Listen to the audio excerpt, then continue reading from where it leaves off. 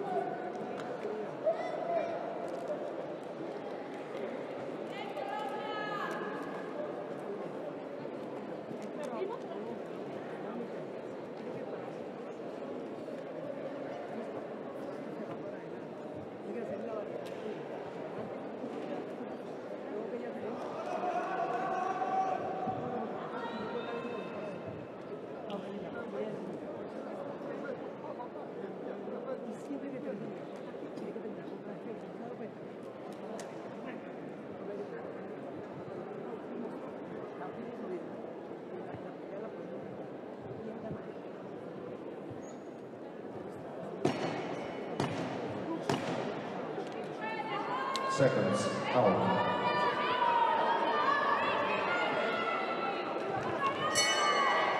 Round two.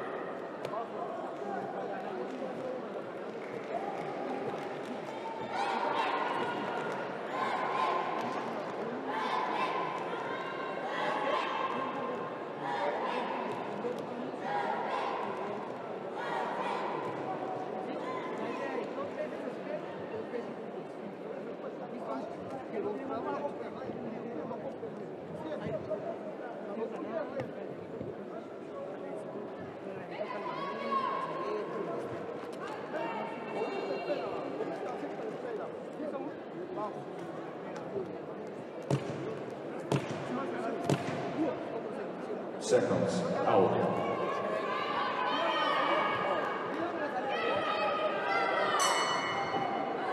Round three.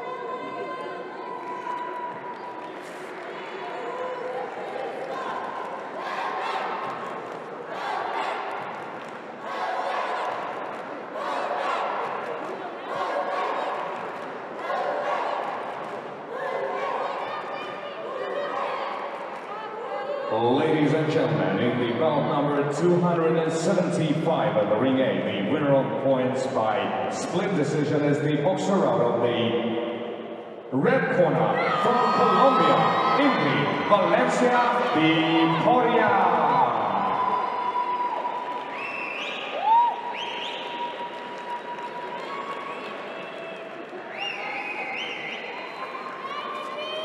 ¡Vamos Colombia!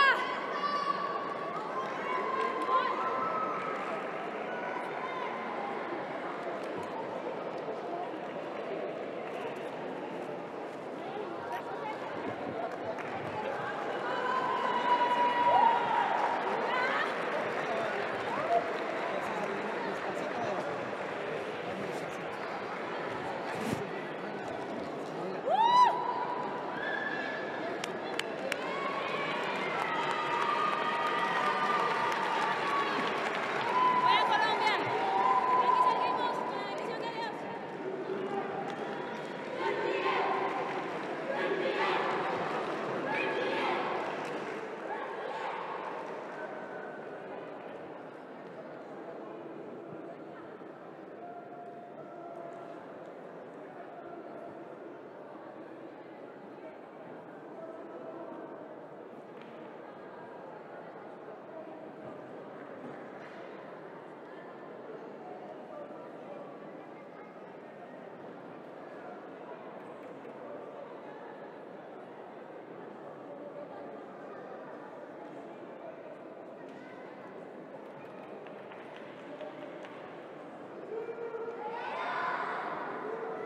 Ladies and gentlemen, we now proceed our semifinals to the bout number 276 in the women's light flyweight category. Ringside judges from Indonesia, Czech Republic, Thailand, Cuba, and France. Referee of the bout, Emerson Pastor, Guatemala. Coming to the ring first, the boxer from Turkey, fighting out of the red corner, Buse Naz Çakıroğlu. And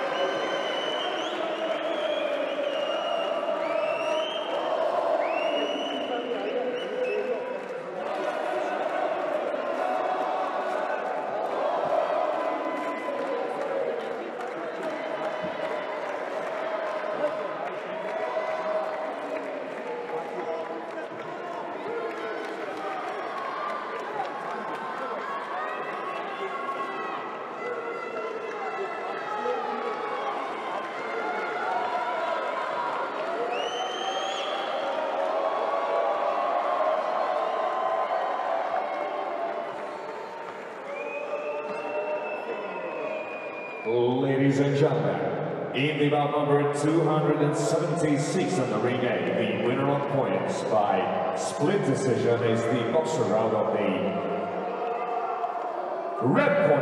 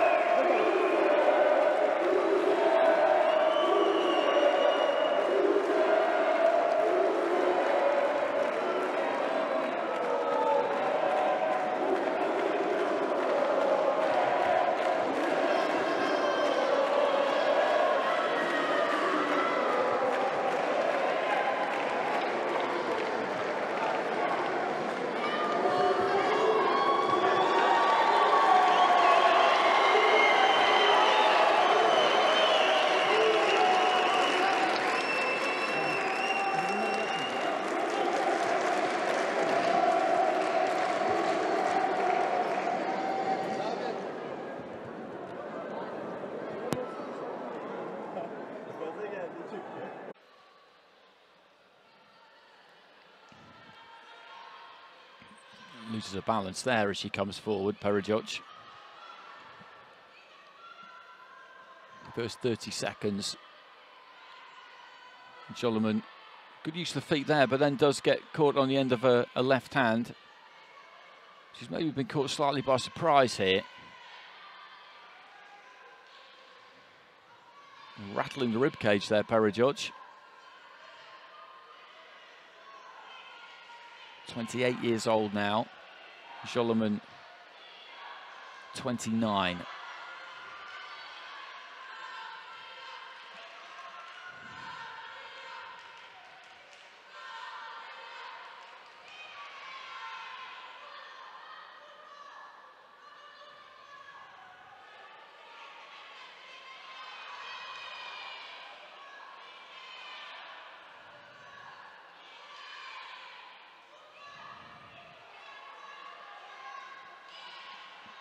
Left hand. Made contact with the top of the head there, I think, of Zholaman.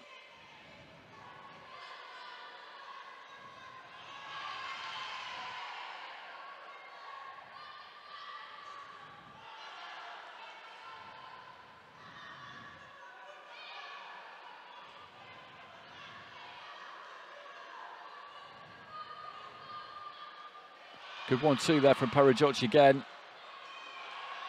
Combination finishing with the left hand that time as well, and Zholaman trying to give it back to her, but Perijoc, as I say, right at the very start of the fight, stepped into the middle of the ring, let her hands go, and she just seemed to find that distance straight away. That can be fluke at that stage, of course. Uh, and there she she was out of range there. Weight came forward and Zholaman picked her off. But by and large, she's landed more because she's found her range better. Zholaman just made a fall in again there. So I'm not suggesting this has been one-way traffic because it hasn't been, but Perijoc again just dips her head and walks forward a little bit there. When she sees her coming, Zholaman is able to take, that, take that little step back, but there Perijoc just steps in and finds her. Zholaman turning well out of the corner. Final few seconds of the round.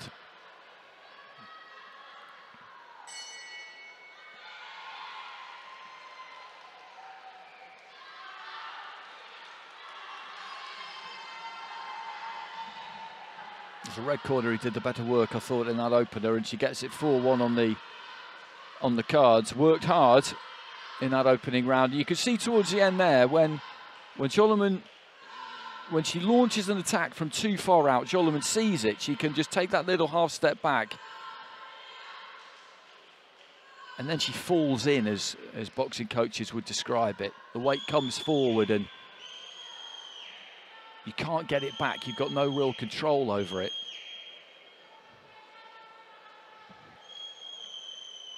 And if Zholaman can make her do that, then she can pick her off. Possibly. She showed glimpses of that in the first round.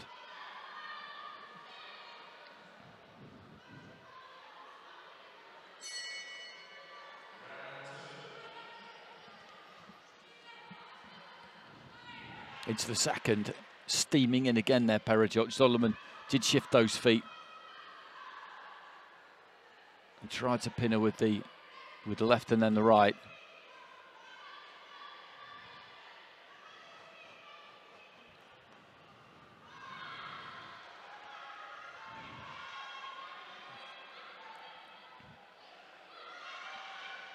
And made the adjustment there. Perijoc came forward. She just stepped off to the right-hand side. Perijoc stumbled in a bit. And then she did just catch her with the right hand.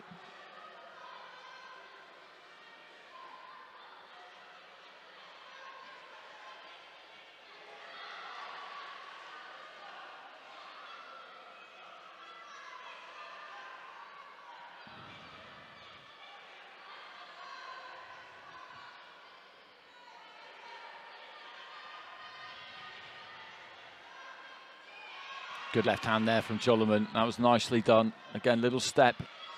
And found the left hook. Perijoc still marauding in as much as she ever has been.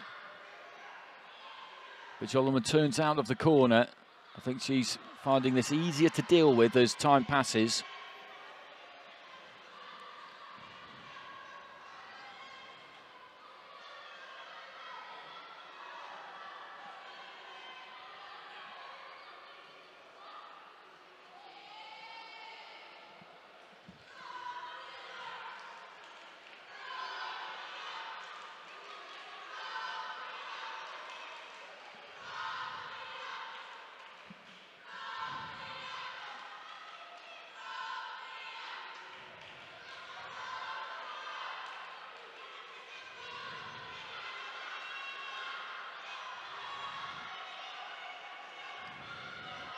Good left hand there from Perijoc on the inside.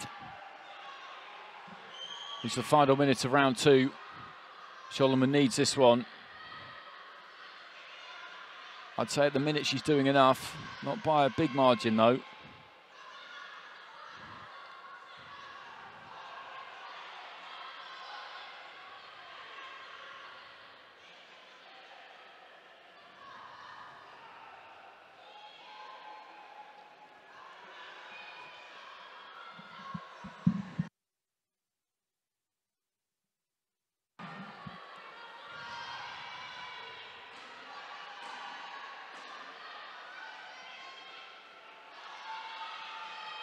Just slightly cramped for room on the inside there, Perijoc. Just couldn't quite find the space for the right hand, and then it was the same as they were up close. Scoring in the second round, absolutely crucial. It was another tight round. I'm really not sure what we'll get. I would just go blue maybe, but there's there's not a lot in it. I would just go blue actually.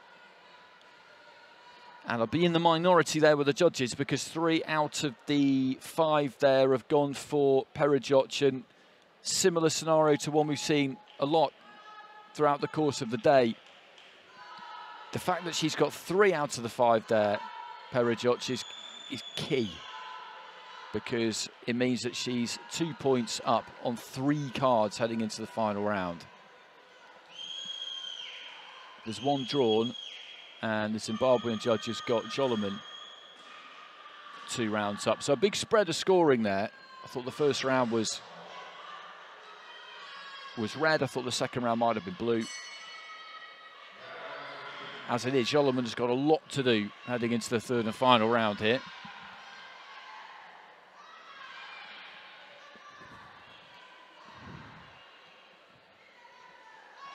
Good combination there from Perijoc.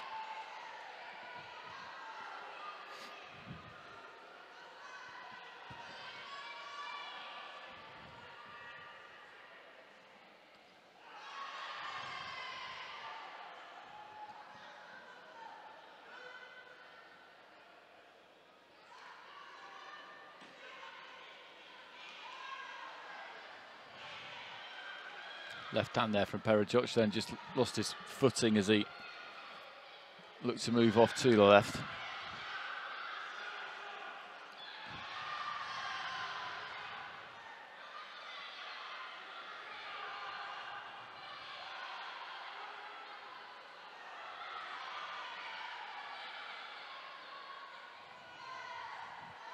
Good jab from Perijoc.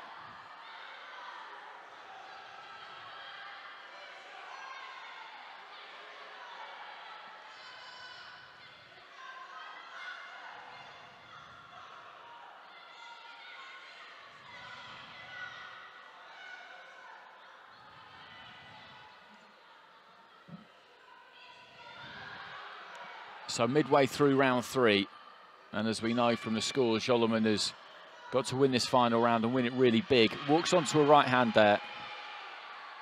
The Kazakh fighter.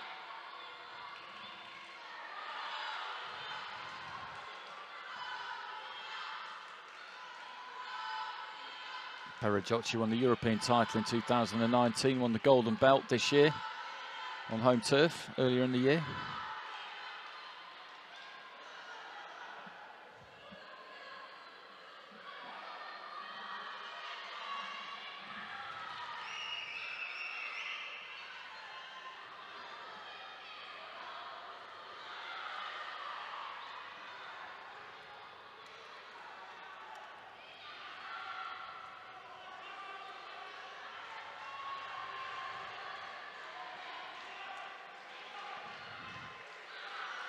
30 seconds to go.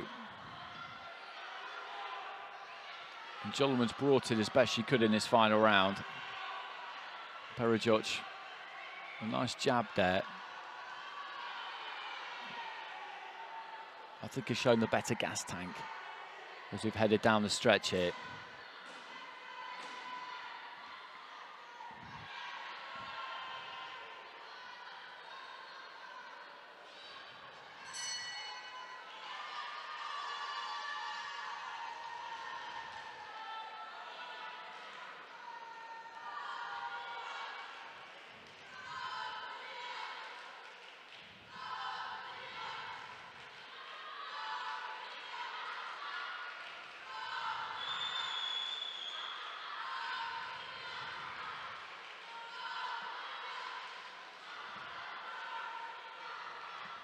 Head guards come off. Lacramioara Perijoc of Romania. That's her in the red corner. She's going to be the one who goes through here because she had a two-point lead going into that final round with three of the judges and she's not going to have relinquished that. No chance.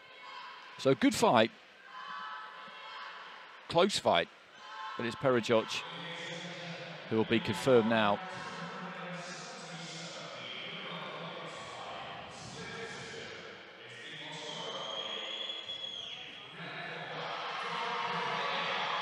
So she gets it on a split, 4-1. Our judge from Zimbabwe, I suspect, will be the one who, well, not I suspect, I know, will be the one who scored in favour of Zholaman there because he gave her the first two rounds. And then the other three scoring for Perijoc. Three of them 30 points to 27 or three rounds to nil. The other one 29 points to 28 or two rounds to one. So through she goes to the final at bantamweight, where she will face the winner of our next fight between Prita Kamon Tintabthai of Thailand and Hatice Akbas of Turkey.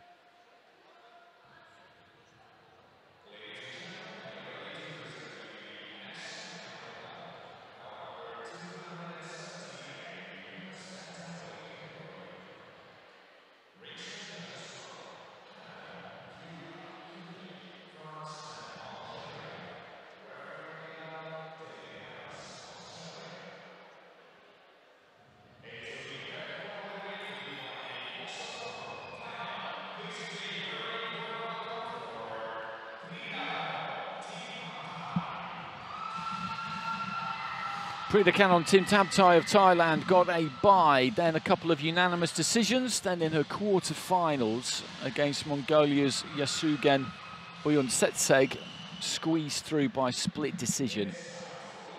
Boxed at the World Championships in 2019, got to the round of 16, bronze medalist in the World Juniors in 2015, and she's up against a home fighter here in Hatice Akbas of Turkey.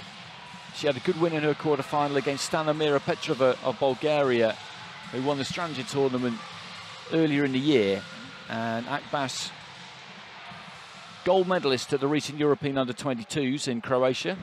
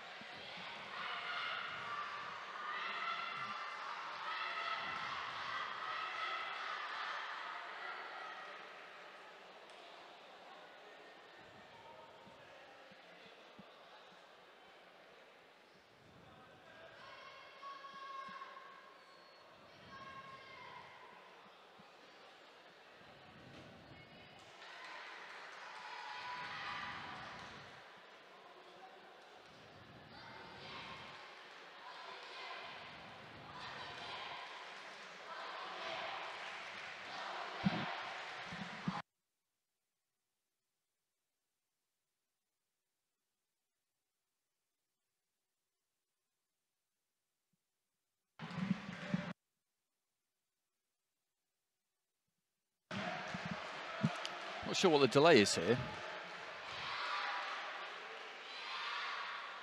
Tintabthai's in the ring, kitted out, all ready to go. Akbas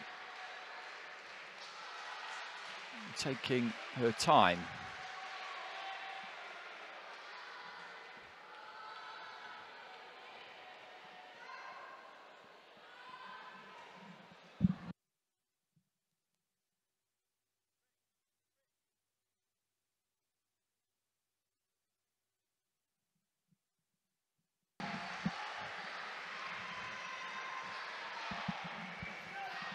So on goes the head guard eventually. She's under pressure here, Akbas. Çakıroğlu got through without any particular problems. A couple of fights ago. This afternoon, though, Elif Guneri, Sema Çalışkan, they both lost in their semi-finals. Isa Çagırir won. That was in the opening contest of these semi-finals. So one out of three for Turkey got through this afternoon. Çakıroğlu made it two out of four. Akbas will be headed to make it three out of five. So here we go. Akbas of Turkey in the blue, boxing out the southpaw stance. Tintabthai, Thailand in red.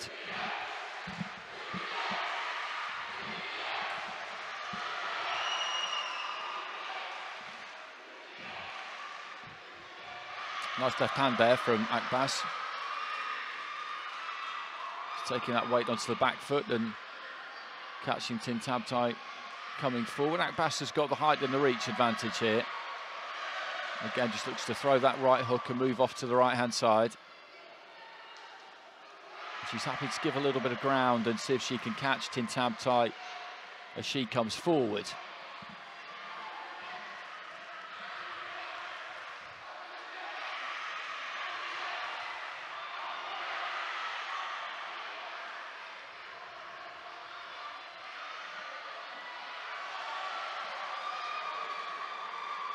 Couple of lefts into the body there from Tintabthai.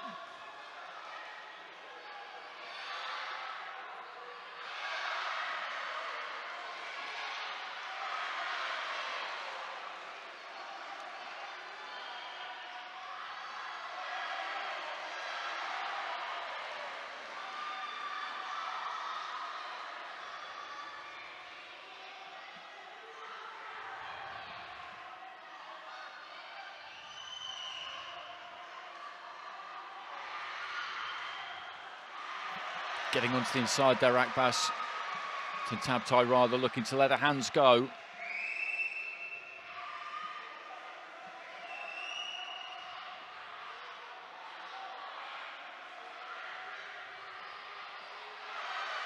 Does that hook on the move and a straight left hand from Akbas as well. And again, that, that right hand, she just likes to throw that and move off to her right. Good fight this though, Tintabthai just winging in with a big left there, which didn't miss by far, creeping in with that front foot.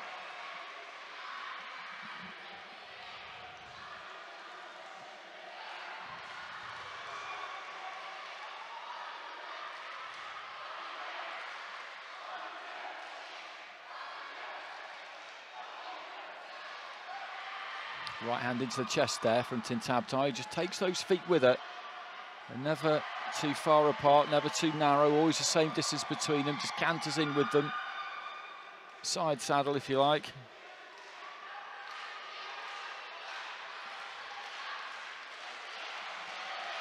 Right hand again there from Akbas. And again as she moves off to the right. The thing about flicking punches in from that low is that they kind of explode up into a fighter's eye line. It's difficult to see them. Right hand again there from Akbas. She lands that almost every time she throws it. It's one of the reasons why some fighters will hold their hands low and flick their jab up from the waist. If you, if you throw it from a more conventional on-guard position, if you hold your hands up by your face, which is what coaches will tell you to do, it's easy to see that jab coming because it's in your eye line all the time. If it comes up from the, from the waist, then it could be a problem. Well, some 10-8s in there for, for Akbas, and she was landing more and more regularly towards the end of the round there. No doubt she won the round, no doubt at all. Uh, and I can see the case for the 10-8s. I can see the case. She was landing regularly. Tintabthai was always coming forward. It was never in any trouble, but she was comprehensively outlanded in that first round, really due to the the finish, the final minute that Akbas had there. Probably wouldn't have scored that 10-8 myself, but it was a good clear round win.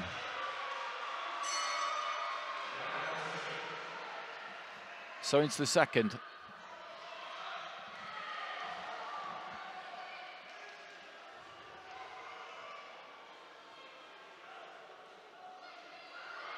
That's a good right hand there from Tintabthai. She's in red, Boxy for Thailand. Akbas of Turkey in blue.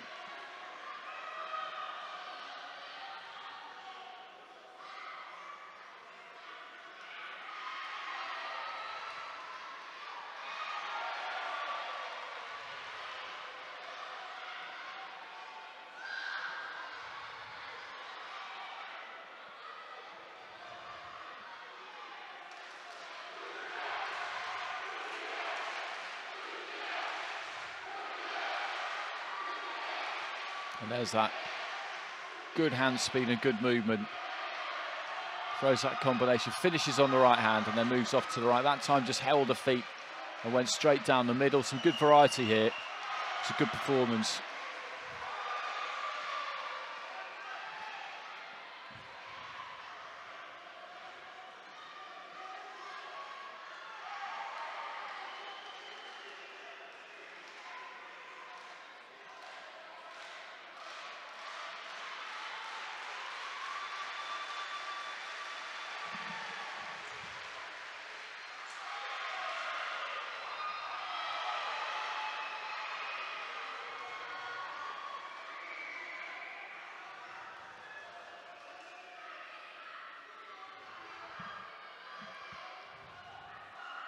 Tintabthai caught by a lovely left hand there from Akbas. Just waiting for her, giving that ground, retreating towards the ropes, knowing that she's going to make a move. And then when she did, just trusted her, her hand speed. Right hand lands there from Tintabthai. It's not like she isn't having some success. She lands another one there because she is at times. And they both just trade backhands on that right hand side of the ring. And it's a good fight to watch this, it really is. But Akbas is quite clearly winning it.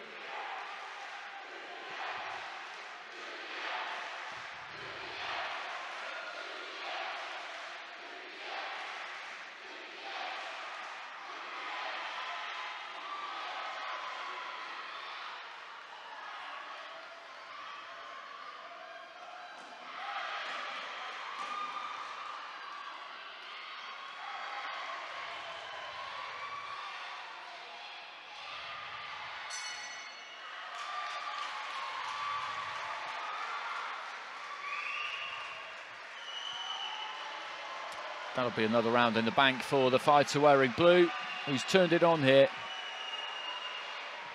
She's banging form this season after winning that European Under-22 gold, and she's risen to the occasion here, absolutely. And 4.10.9's 1.10.8. So she's over the hills and far away here, Akbas. The only thing that can stop her now is if she gets injured has a couple of points deducted or Tintabthai can knock her out because that's what you'll really need to do here. A 10-8 across the board would do it, but I would say that landing that one single big shot is probably more likely than that. Neither of them are likely. So into the third, Akbas of Turkey in the blue with a comfortable lead. Tintabthai of Thailand in the red. With a lot to do here, but I've enjoyed watching her. She's aggressive, she's come forward, looked to let her hands go. It's not been reckless or, or gung-ho. There's some technique involved in it there as well. And she's never taken a backward step when she's been landed on. And you can see how she's got this far.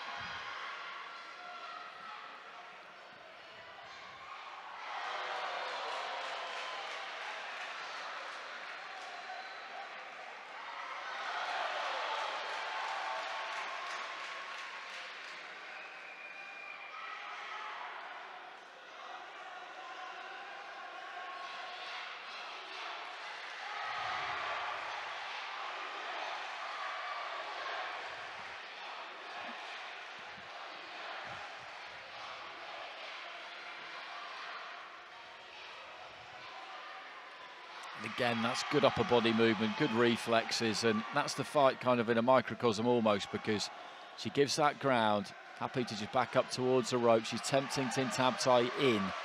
And Tintabthai has not got slow hands either. She really hasn't. She's no slouch on that front, but she's just waiting for her to throw something, and then either she'll get out of the way of it like she did there and then throw something back or trust her hand speed to be able to beat it to the punch. Good left hand there from Akbas.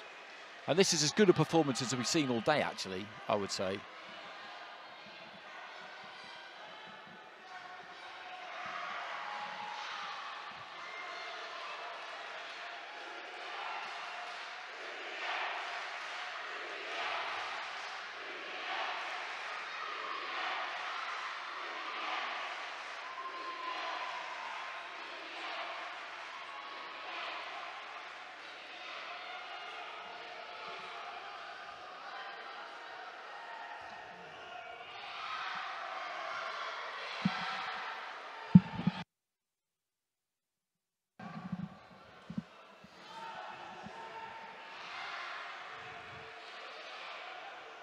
Just over 30 seconds remaining. And still Tintabthai looks to come forward.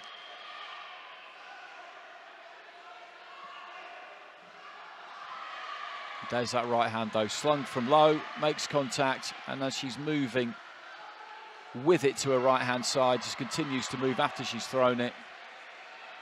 And takes her off to a safe distance. It's a shot to nothing really because it's basically impossible to counter it.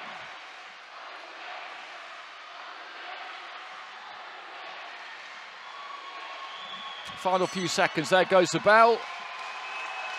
Thoroughly enjoyed that. It's a very good performance from Hatice Akbas of, of Turkey. She'll win this by unanimous decision, but I enjoyed that from Tintabthai too. I like what she brought. I like the way she went about it. There's some ability, some technique there. Of course, she's got a, a bronze medal at the World Championships. What else would you expect? But I've not really seen loads of her before today. And she tried to put the pressure on Akbas as best she could, but Akbas was equal to it, and that was a really good performance from the Turkish fighter. So she makes it through to fight for gold.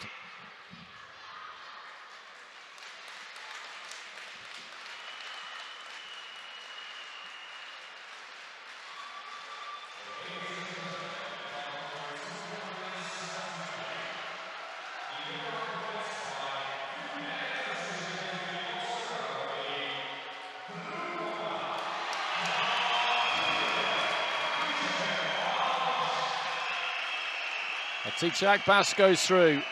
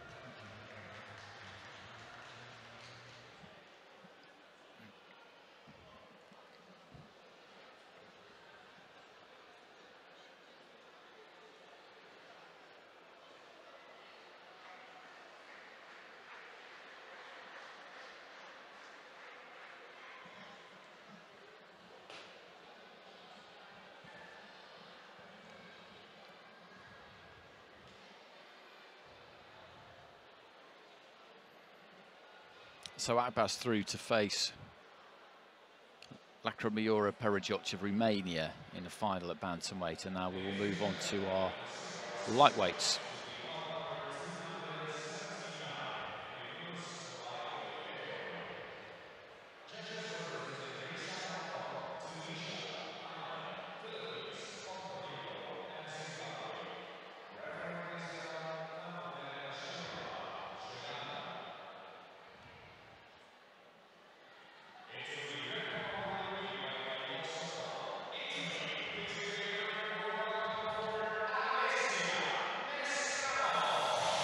And this is a real interesting matchup, this. Alessia Mesiano of Italy up against Beatriz Ferreira of Brazil, who most people will make favourite, I'm sure, given her recent exploits in the American Championships and the Olympic Games. But Mesiano won a gold medal in 2016 in the World Championships.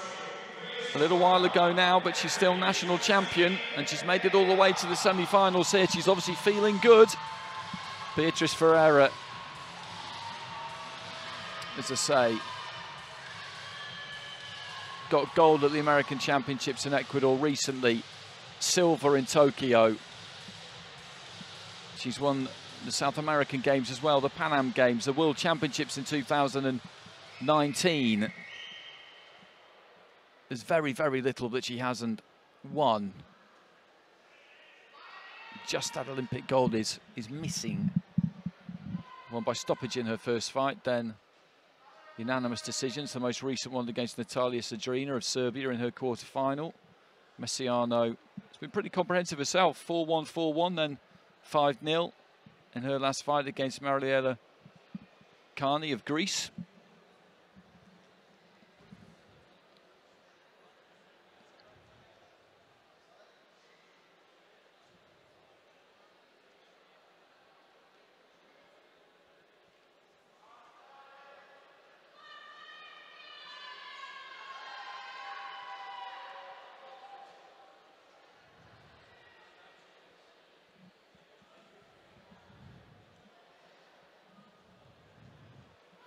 So Mesiano of Italy in the red.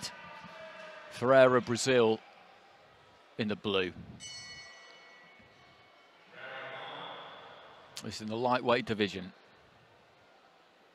Nice short left hand there from Ferreira early on. Quickly into a stride here. That 1-2 was decent. She seems to have found her range quite swiftly here. Mesiano went to throw that right hand, didn't and got a three-punch combination back as a reward. I think she had the guard up and blocked most of it. Left hand there from Mesiano. Quite a big step to her left as she threw it.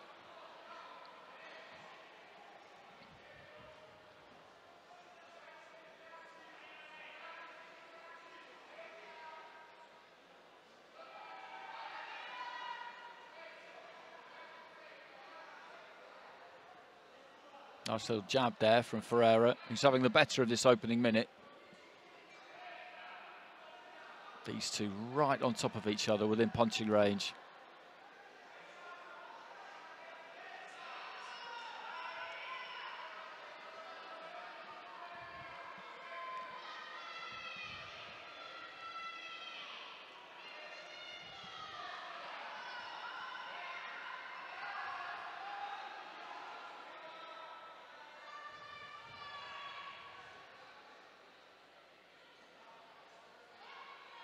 Fro just looking at the referee there, just I think expecting her to break them apart. She gave them every chance.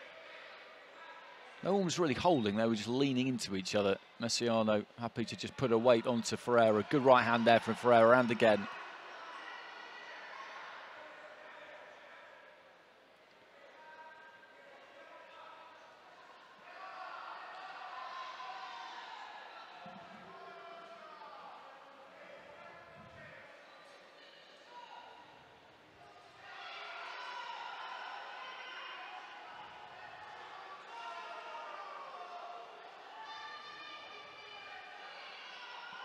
Good work to the body there for Ferreira too. She's very, very efficient. She doesn't waste much at all. Just a little pull back and then look for the uppercut there, Ferreira. Mesiano's feeling this a bit, I think. She's been put under some serious pressure here by Ferreira, not because she comes storming forward throwing blizzards of punches. It's all, as I say, it's, it's pretty economical. She doesn't really wind up with anything. They're short punches. She trusts her reflexes, trusts her defence in the pocket, but that's where she likes to be.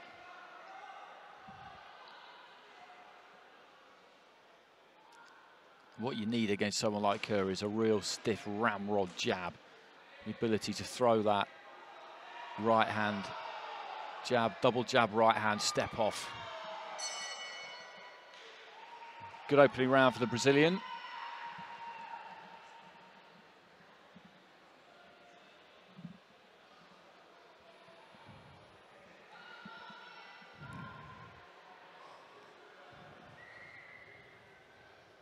And a couple of 10-8s there, actually. One from the Philippines, one from Zimbabwe. Clear round win. Clear round win. Plants that jab nicely. That's what I'm talking about, about how comfortable she is up close. She's comfortable in that in that pocket. Trusts her reflexes, trusts her upper body movement.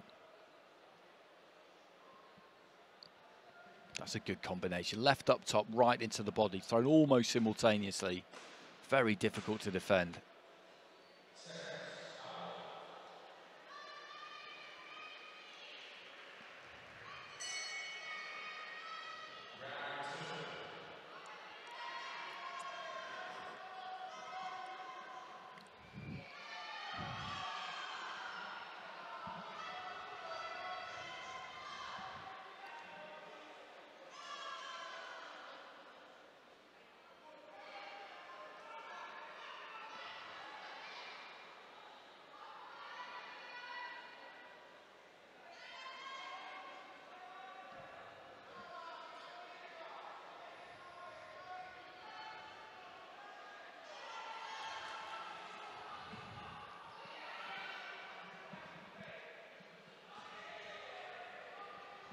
Mesiano just can't quite get her punches away. That's the problem she's got here. She's getting beaten to the punch by Ferreira basically all of the time. And then when they get up close, because she's that little bit taller, Ferreira gets it at the range where it's difficult for Mesiano to find that space. To get those longer arms loose.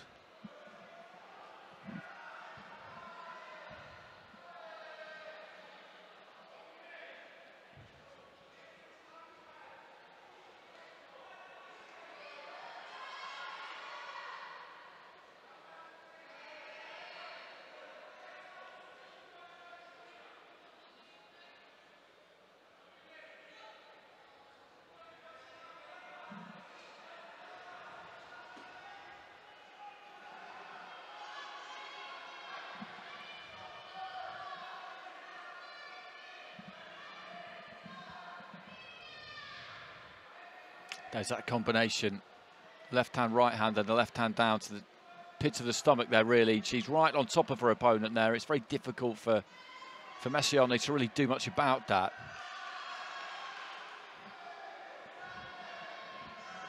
Again, good short shots. Right hand got through. And this is hard work for Mesiano, really is. She's not showing any signs of, of wilting. She's still trying to engage trying to get her own work done. Little warning about use of the shoulder there for Ferreira.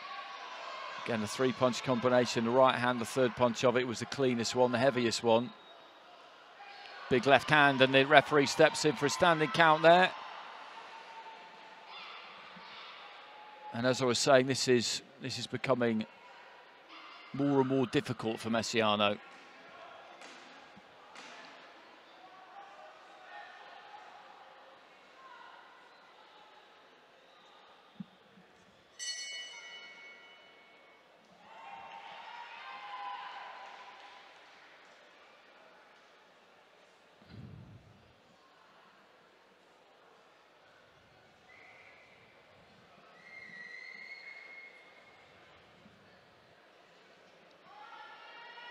Couple of 10-8s again there. Another one from Philippines, one from Ireland. So big, big margins on the scorecards there. A 20 to 16, a 20 to 17, two 20 to 17s, and two 20 to 18s.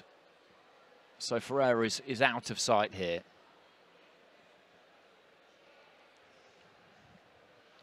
And if she wants to, could ease up on the on the gas a bit in this third and final round, but it's not really what she does.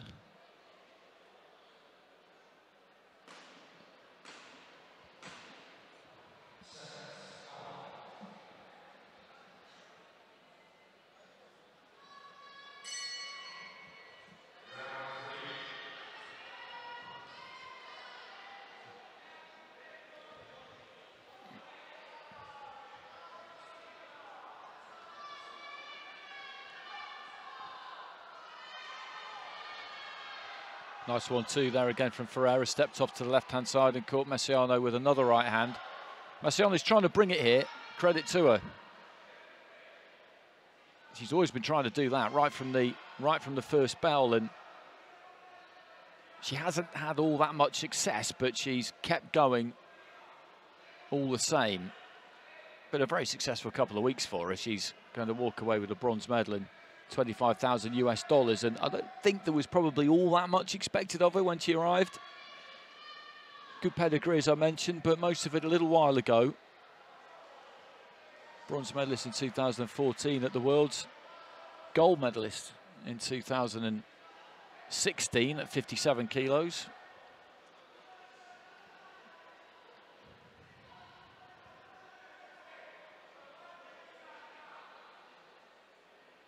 30 years old now, Mesiano.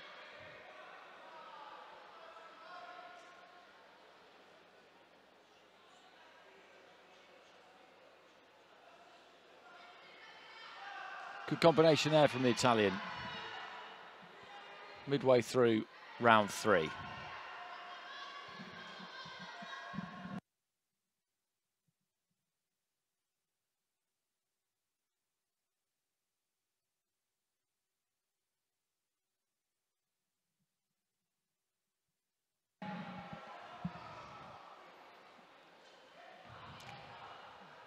Going down to the body there, then looking for the uppercut, which didn't land, and a big overhand right, which didn't either. Probably just as well for Mesiano that neither of those got through, but credit to her for avoiding them.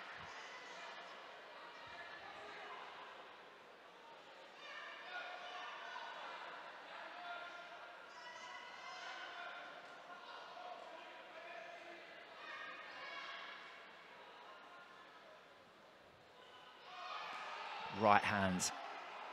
Swiftly off the back of it, that left. It's almost a, a reverse one-two there. Leads off with the right. Not all that much, much weight on that, but then really cracks through with the left. So Ferreira's going to go through to the final, which is probably what most people would have expected.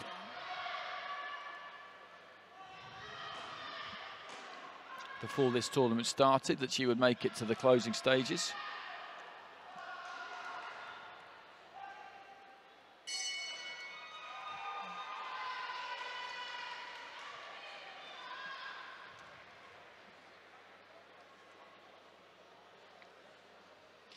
And she pretty much won every second of every round there. I don't want to be too unkind to, to Mesiano because she never stopped trying, but Ferreira is, is relentless.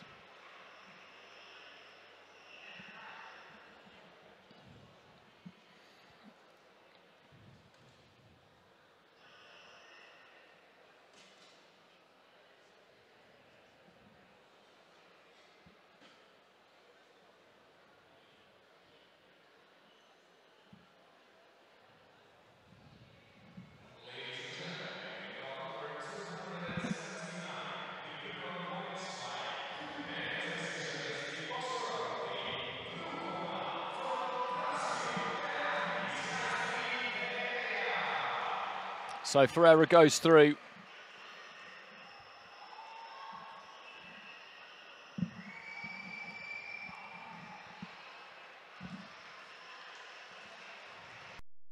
By unanimous decision.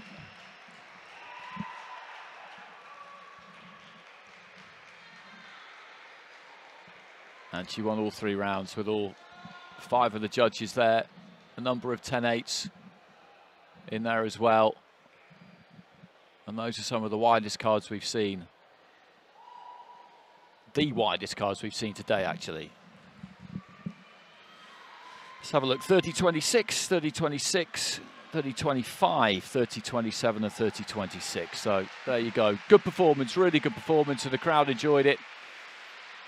Giving her a big ovation as she walks past them. And she will face the winner of our second semi-final between Donjeta Sadiku of Kosovo and Rashida Ellis of the United States.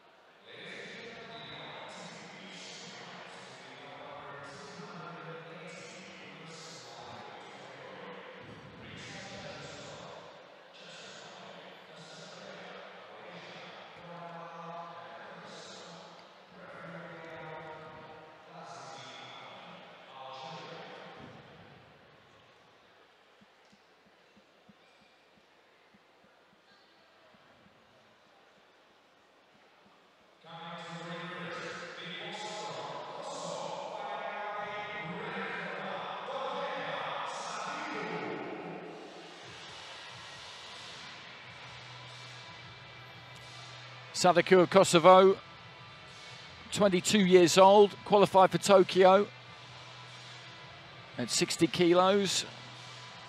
Exited the tournament fairly swiftly, but still a major achievement to get there. European Youth Champion in 2016.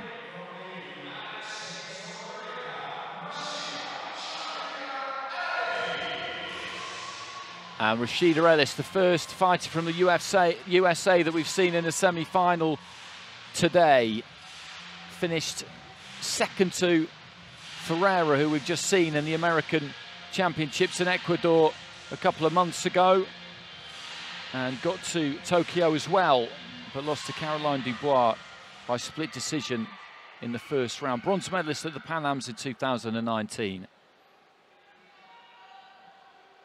And Sadiku has won by unanimous decision all the way through so far. Rashida Ellis, almost the same. A split decision 4-1 in the quarterfinals against Yasmin of India. Sadiku got past Shi Yi Wu of Chinese Taipei. The US team had a very successful men's World Championships. Brought a young team, pretty inexperienced team, and they, they lit the place up, quite honestly. I had almost all of them in my ring pretty much all the way through, and they were terrific. Raheem Gonzalez with a gold, Jahmal Harvey with a gold, Roscoe Hill, for Sean Lee, uh, Jamar Tully, Obed Bartee-El. I'm missing fighters out. I'm missing fighters out. But they were great to watch. And they really kind of took to the stage. They really owned it, despite their lack of experience. Hasn't been quite the same for the women this time around. Rashida Ellis in the blue there of USA, Sadiku of Kosovo in the red.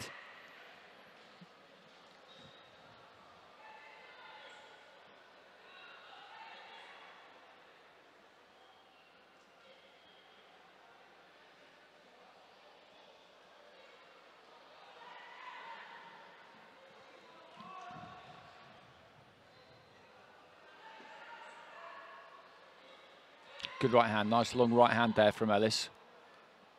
Brother Ronald was a pro fighter. People will recognise the name, some people I'm sure. Now coaches her.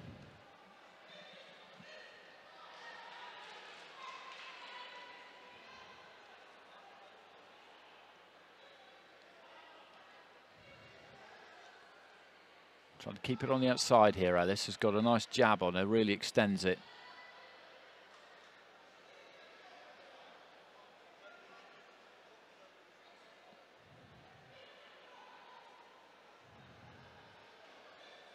There it is. Catches Sadiku with it as she was looking to move in. Long right hand just pins her on the chest. And this is good stuff from Ellis because she's keeping this simple. She's not throwing bundles of punches, but she's throwing enough. And when she lands, it just offsets Sadiku, means that she has to stop and get her balance back, start again. Short with a 1-2 there, Sadiku. Ellis taking the feet back. 1-2 from Ellis. Did get there. There's that jab again. That's a good scoring punch. Easy to see for the judges. Sadiku trying to get onto the inside, but it was Ellis who landed the better punch there as well, that right hand.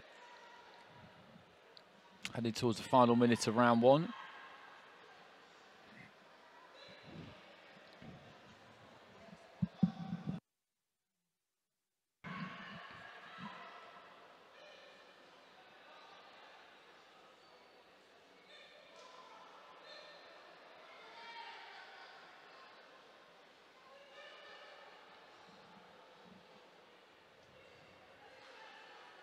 Well, the referee hadn't called break there, so they're both perfectly within their rights just to get on with it.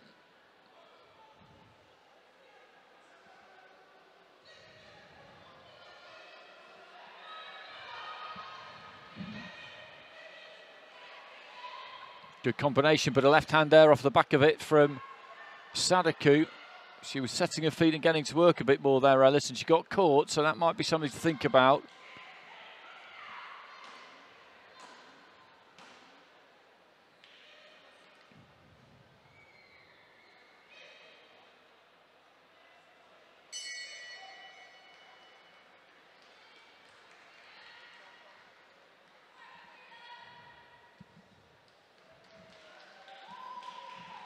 Around for the blue corner, I would say.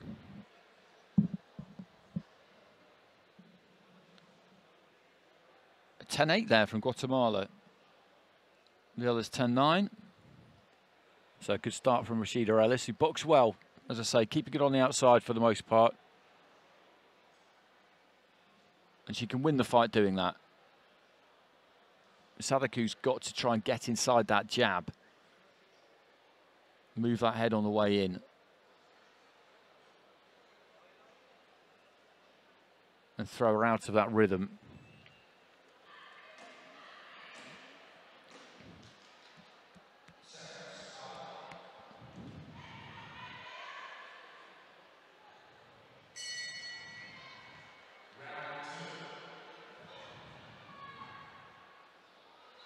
So into the second. Dips in with a right to the body there, Rashida Ellis. And Sadiku, I think, is going to try and bring a bit more heat here. Ellis working with the jab, throws that right hand and rolls out to her right.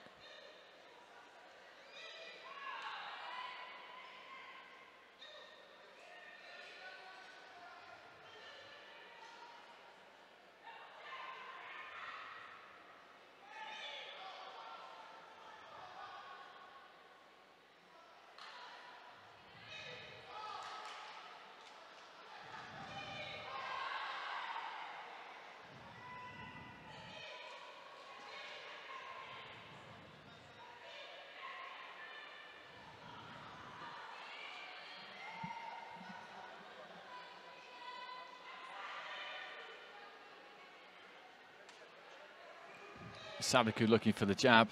Left hand there of just touched her on the side of the head. Second round similar to the first so far.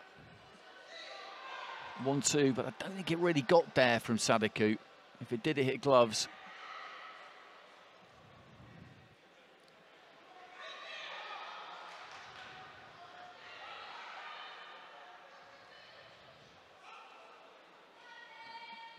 Good upper body movement there from Ellis. Well, the referee's telling her to keep her head up, but she dipped to the knees there. There was nothing wrong with that.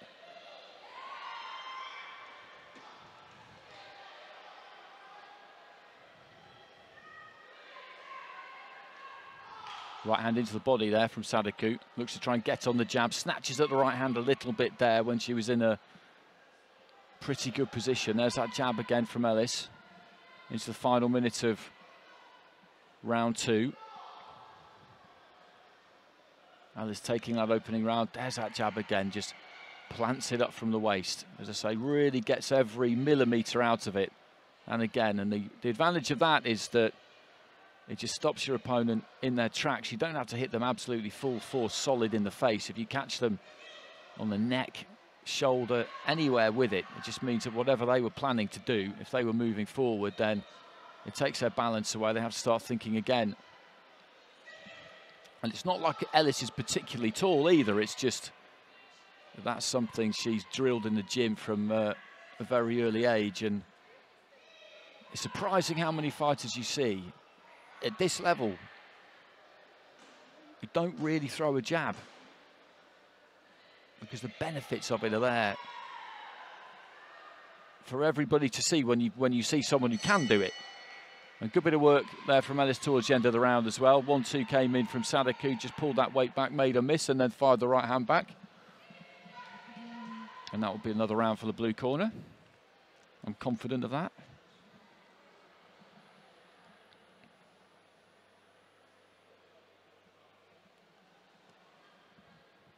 Ten nines. So she's making quite routine work of this so far, Rashida Ellis good discipline in her in her boxing. And there's that that long right hand as well. As I say, she gets every millimetre out of it. She has got long arms, which is something that is always a bonus for a fighter. It's something that makes a person suitable to be a boxer if you've got long arms.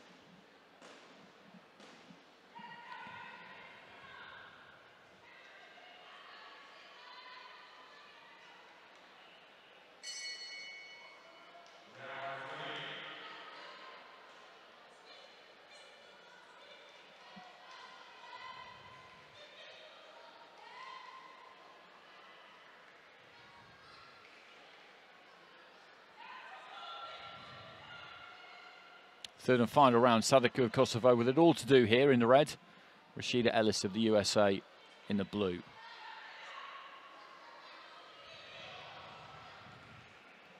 Just to southpaw there briefly, Sadiku. May as well try something to try and disrupt this nice flow that Ellis has been in pretty much from the start. Just reach for the one-two a little bit there. Tiny mistake, but Sadiku just pulled well out of range and wasn't able to to do anything about it. It wasn't like the balance completely went anyway. Stepping in there with a 1-2 again, Ellis.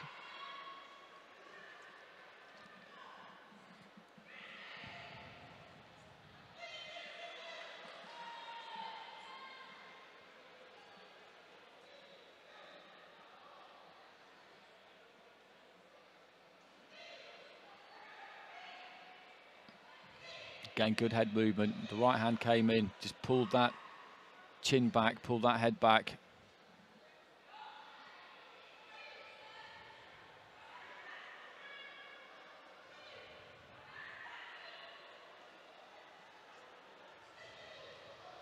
Nice combination again. And it's been very, very simple. The tools that she's used here, Rashida Ellis, jab, right hand. That's pretty much been it. She hasn't thrown much else apart from that.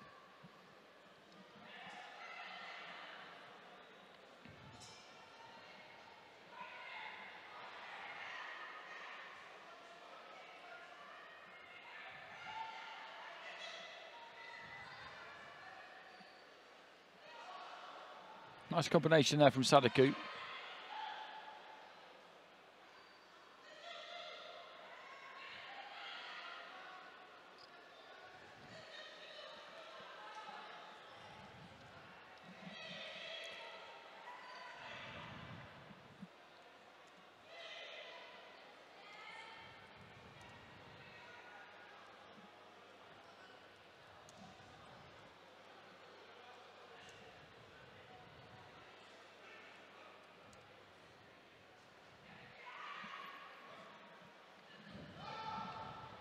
Closing stages.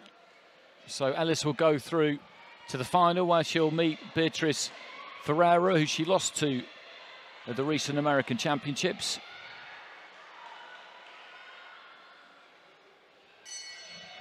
And there we go, there goes the belt. Good display from the fighter in the blue corner. And it wasn't all that much that Donjeta Sadiku could do with her.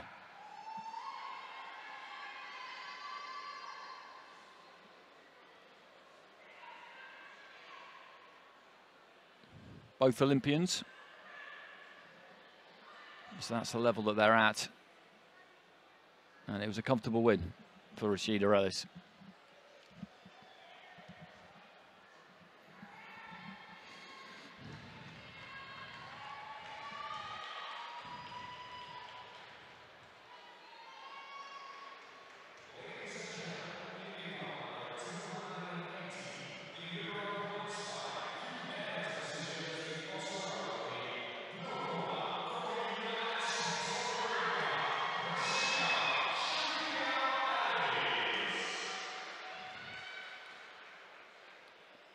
Five 0 and she'll have won every round with all five of the judges there. I'm sure about that.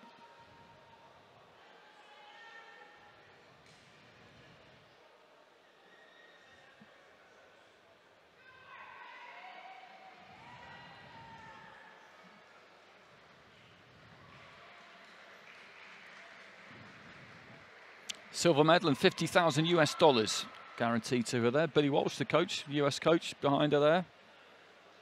Such a successful coach for Ireland for a long time now, transferring that success to the USA, who had a good Olympics. Slightly strange Olympics for them because Keyshawn Davis and Duke Ragan were, were part of the team and, and medalled, which they wouldn't have been expecting because Team USA don't entertain the idea of professionals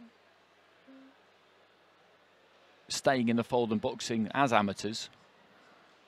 But because of COVID, although they'd both already turned pro and didn't have any intention of continuing as amateurs, they found that their rankings were still good enough to qualify them for the Olympic Games because the American qualifier never happened because of because of the pandemic. And of course, you're going to take that opportunity if it comes.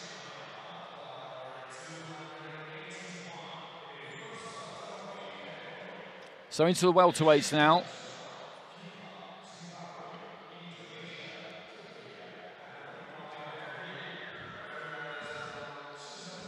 And we've got Canada up against Algeria here.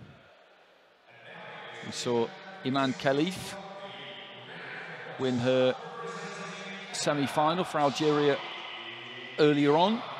But first up, in the red corner, this is Charlie Cavanagh couple of split decisions and then a unanimous decision against Ivanusa Gomez Moreira of Cape Verde in the quarterfinals. And she got bronze in that American Championships, losing to Ferreira in the semis.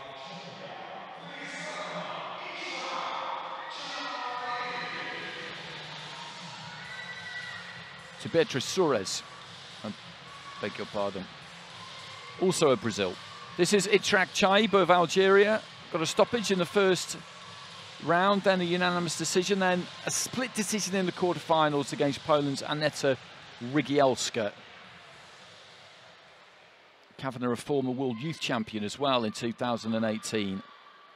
And Chaib boxed in Tokyo also. That was at 75 kilos. She's now boxing at 66, so that shows you the weight she must have been giving away, typically.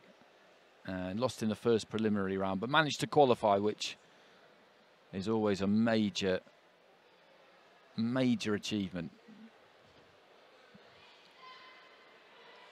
But when it comes to the next Olympics, 66 will be an Olympic weight 51, 54, 57, 60, 66, and 75.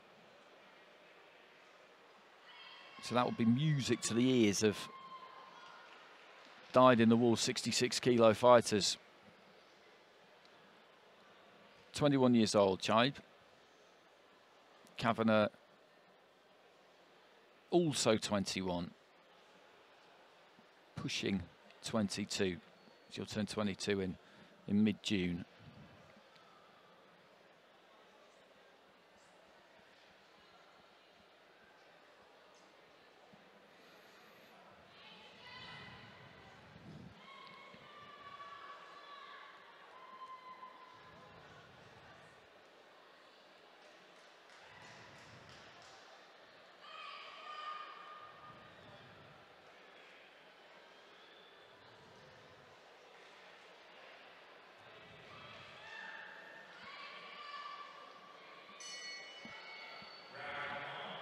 So into the first, Cavanagh, Canada in the red, Chaib, Algeria in the blue. Lively start there, both of them just letting their hands go and having some success. Chaib probably had the better of it in that red corner on the near side.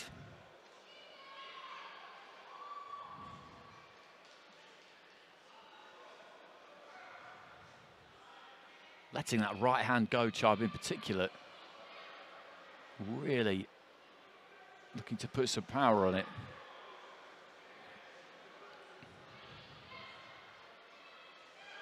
There it is, as Carter just opened up herself. She caught that right.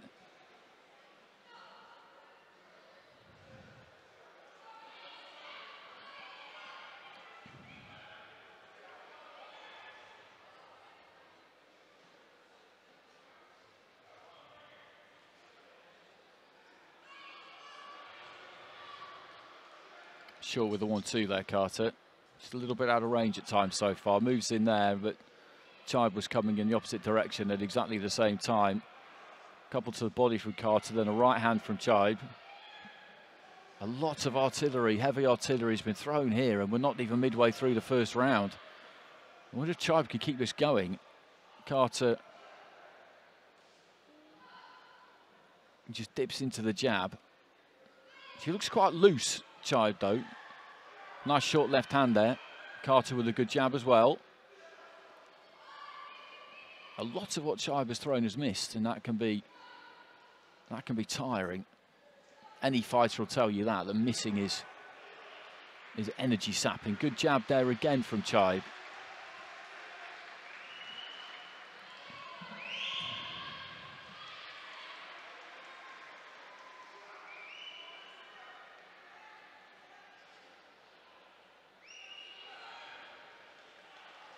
And again there, just sneaks it straight through the guard.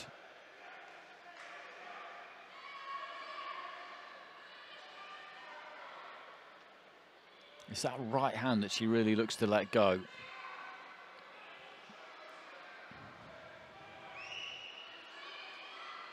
And again, it's a good weapon, that jab.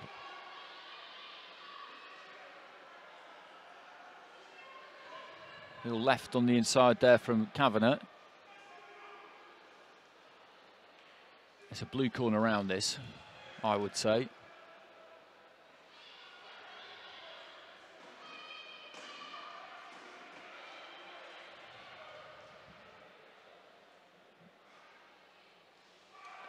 Good right hand, stiff right hand just to finish off the round there.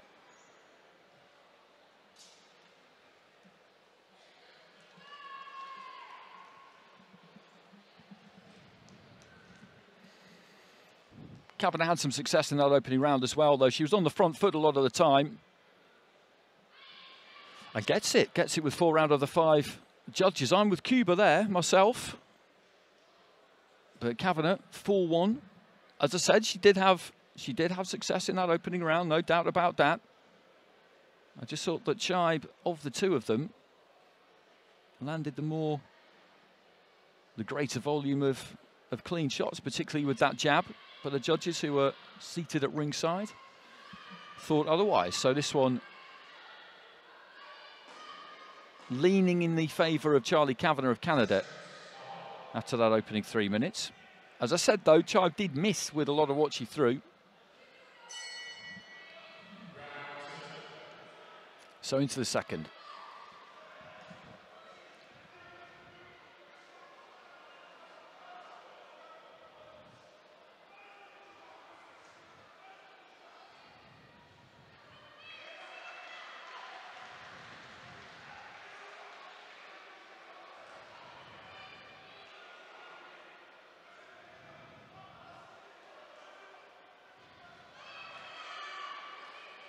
There's that right hand there that Chaib's looking for again. Didn't land clean though.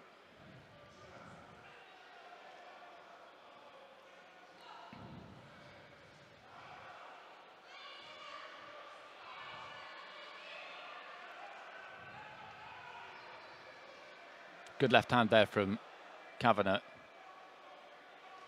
Just working around Chaib, spins off, pivots around that left foot, that front foot. Both of them just exchanging jabs.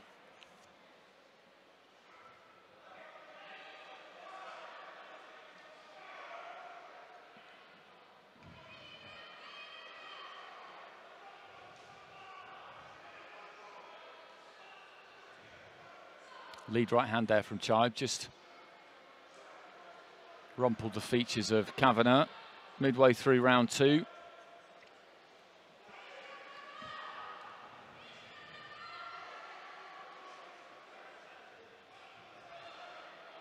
There's that jab again. It's a good jab.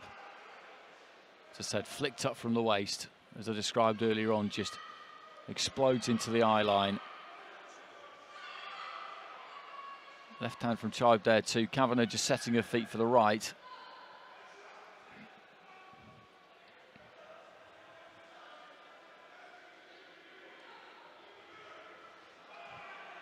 Lovely jab again there from Chaib.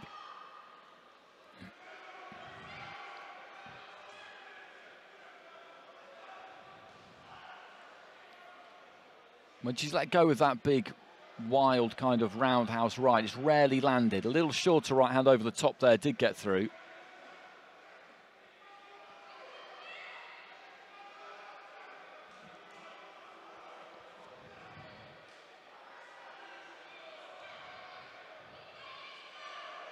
Good right hand there from Carter, Cavanagh rather.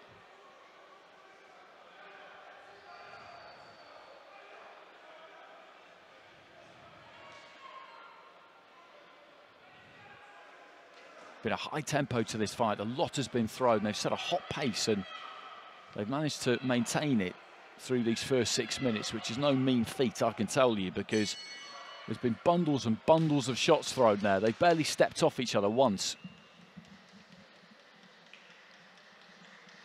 And she needs it. She needs his second round Chaib. I thought there wasn't much difference between that round and the first round.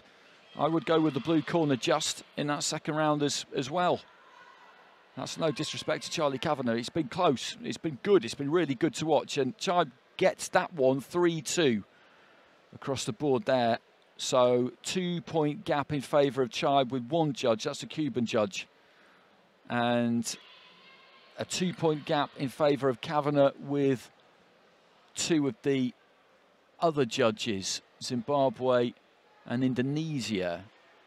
Turkey and Korea have got it 19 apiece. So this is really tight. And the situation is that Charlie Cavanagh needs to convert one of those two drawn cards into a win and she's through. Chaib needs both of them.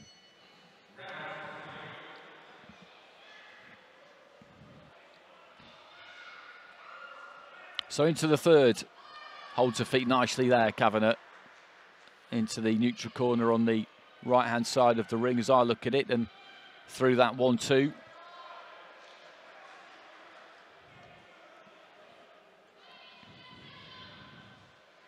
Bit reckless there from Chaib, just threw that right hand from the waist from down by her knees almost and swung herself off balance.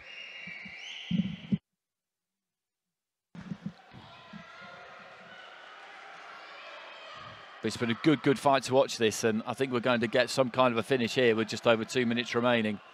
Lead left hand there from Cavanagh. Chaib, maybe she's feeling the pace a bit more of the two, actually, because some of these attacks now are looking quite ragged. Cavanagh's holding things together well. Again, just spins off around that front foot. She's got that slight advantage, remember. Those two drawn cards, they're the, they're the crucial ones. No one's winning this round 10-8. I'd be amazed if they did.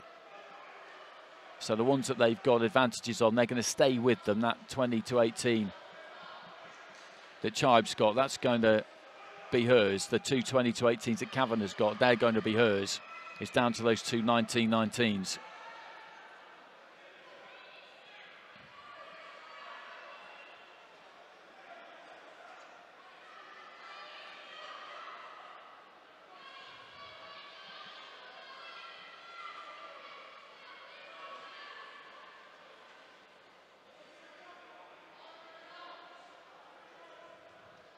Good jab there from Cavanagh. Right hand misses there from Chaib. Her jab gets through there though. Heading in towards the final minute. Long right hand there from Cavanagh. Fell in the, behind him a bit, but got those hands back up. Nice jab as she moves to the left. Leaning her way in this final round. So far.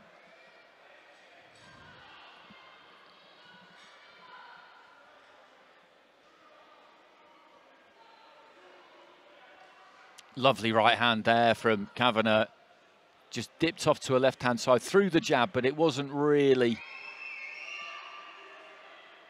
She wasn't really looking to land it full force. She just threw it, dipped to a left-hand side, and then really harpooned that right hand through. A good combination again there from Cavanagh. Her conditioning is held together better.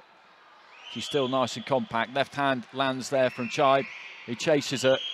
The Cavanagh moving off to a left, lands a left. Chaib has a little bit of success there, closing seconds of what has been a very enjoyable fight. And the bell goes, and by my reckoning, Cavanagh has won that final round, which will see her go through. Overall, my card would be, by the barest of margins, 2-1 in favour of, of Ichrak Chaib, but that's immaterial. There's five judges sat down there at ringside, and going into that final round, two of them had Cavanagh up, one had Chaib up, and it all comes down really to the two cards of 1919, the drawn cards going into the final round. Cavanagh needs one of them, Chaib needs both of them. I would be surprised if it's not Cavanagh who goes through here.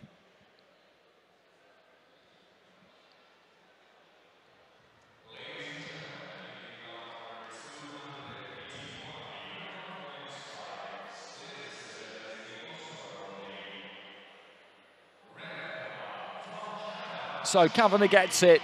Really good fight. Thoroughly enjoyable fight. Be interested to see what scores we get in that in that final round, if I can work them out. Well, it's 3-2. So there would have been some split scoring in that final round. Cavanagh would have got that 119-19 that she needed. And the other one, Interestingly, would have gone to Chaib there. So that was close. That was really close in that final round. Three judges, I think. Yes, three judges would have gone for Cavanagh there. Two would have gone for Chaib. Which gives us the 3-2 overall. So that really was close. I thought that was quite a clear round win for Cavanagh. But it was one of those fights. It was one of those fights. It was tight all the way through. Really enjoyed it. Charlie Cavanagh goes through to the final to box for gold and potentially 100,000 US dollars.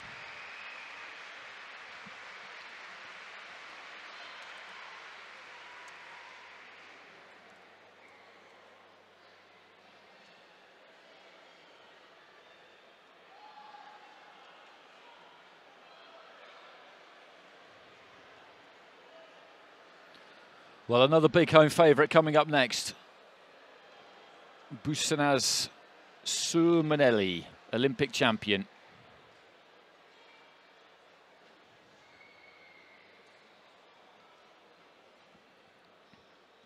She'll be in with Janjaem Suwannapheng of Thailand.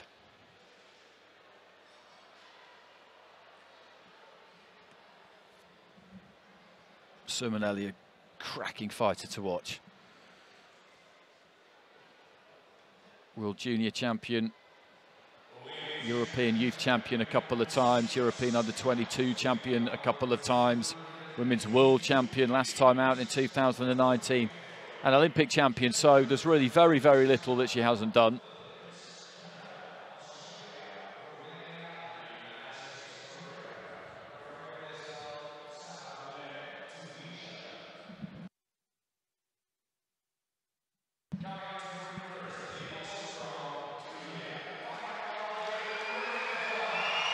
So here comes the aforementioned Busenaz Sürmeneli, and she's been on fire in this competition, winning by stoppage in her first fight. The referee stopping that one. The opposition corner abandoning the fight, calling it a day, seven seconds into round three in her second contest. And then winning by RSC in round three in the quarterfinals against Navbakhor Khamidova of Uzbekistan. So she's blazed a trail to the semi-finals. Janjaem Suwannapheng of Thailand has won every fight so far by unanimous decision. Three 5 nils, including one against Anna Lysenko of Ukraine in the quarterfinals. Lysenko, a, a good, good fighter. Suwannapheng with nothing like the same amount of experience as, as Sürmeneli. She's two years younger. Gold medalist at the Asian Grand Slam in 2019.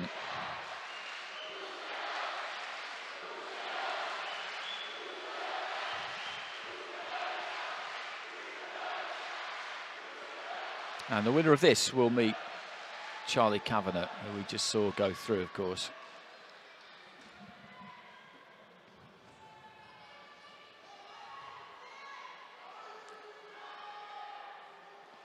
Sürmeneli from Bursa. Boxing out of the Trabzon Sport Club.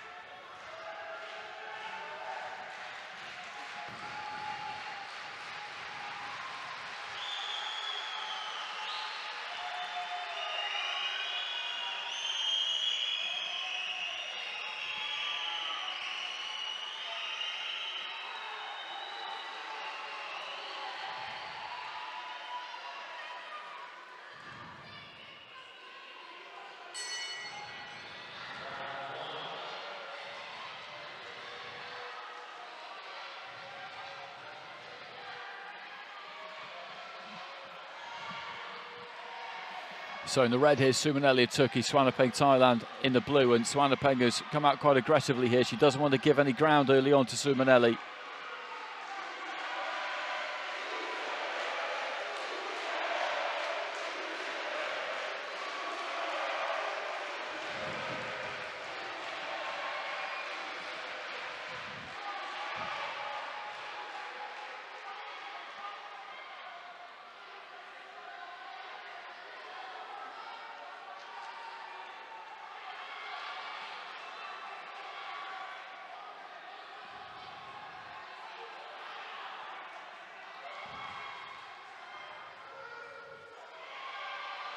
Good work to the body there from Sürmeneli. And then just span off around that lead foot, that left foot.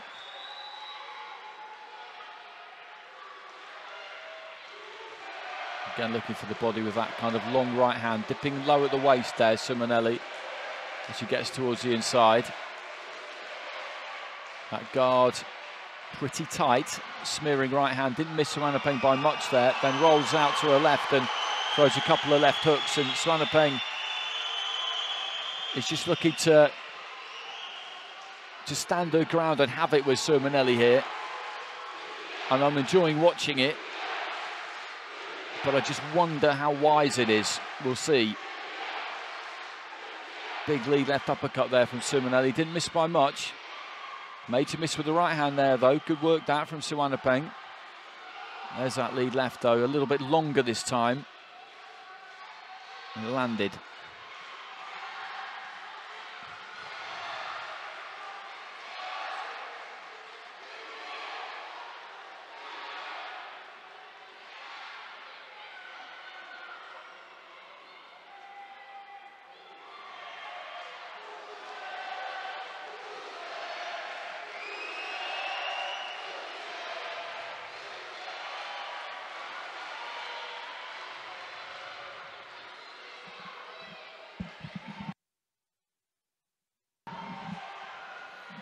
Final 30 seconds of this opening round. It's been a good round to watch. Suwannapheng, as I say, she's held her feet, held her ground. Left hands get through there, though, from Sürmeneli. She decided she wants to fight fire with fire here. Good right hand there from Sürmeneli. She took that well, Suwannapheng. That landed pretty much full force. Goes down to the body.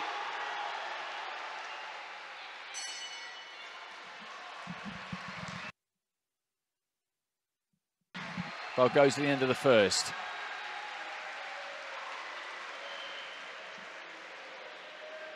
Now, it was a good round to watch. Sürmeneli have the better of it. But it wasn't like Suwannapheng didn't have her moments. She was in there throwing for the duration of the three minutes. Made a lively start, but I thought it was pretty, pretty clear that the red corner overall was getting on top there, particularly towards the end. Split scoring though, split scoring. Three in favour of Sürmeneli, two in favour of Suwannapheng. So it's got a foothold in the fight here, Suwannapheng. That's a good start for it.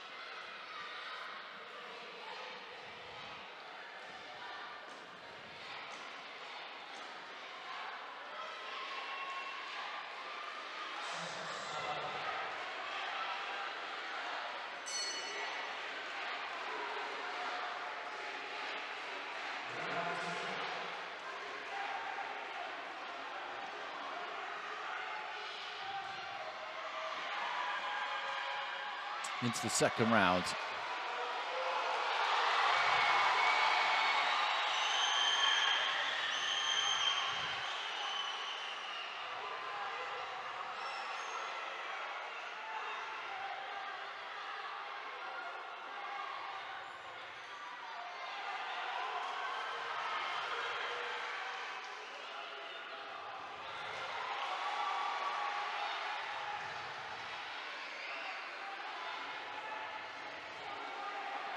Good left hand there from Sue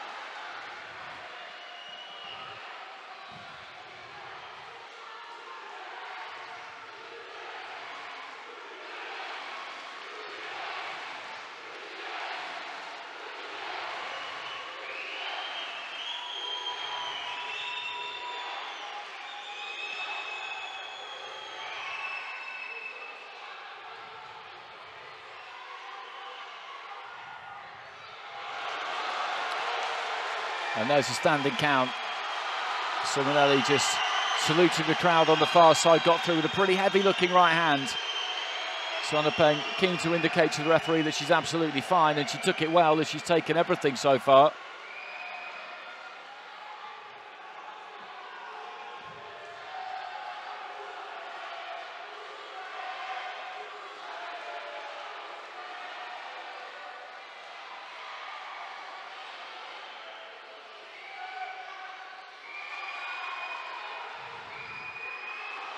Again, there's that right hand. Sürmeneli with that upper body movement as well.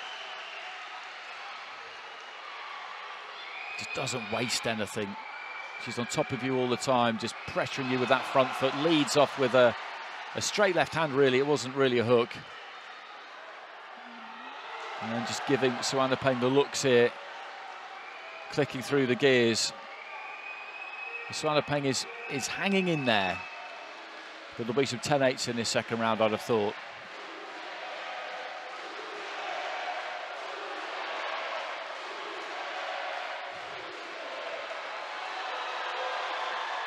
And again, Sürmeneli just getting to Suwannapheng there with that combination.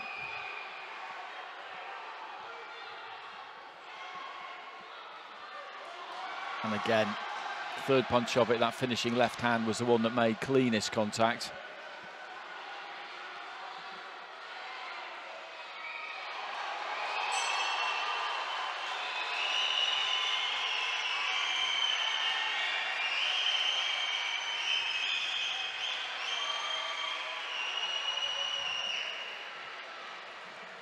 And that certainly was a clear round win for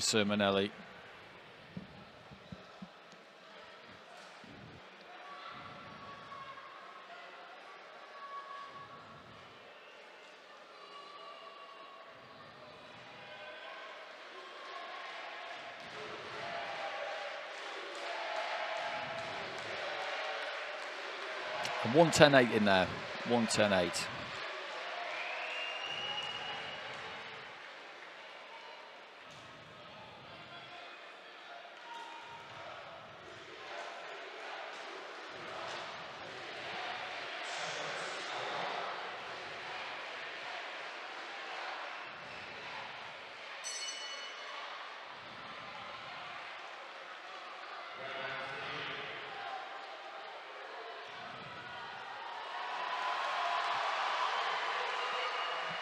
into the third round. Sürmeneli with a with the advantage here.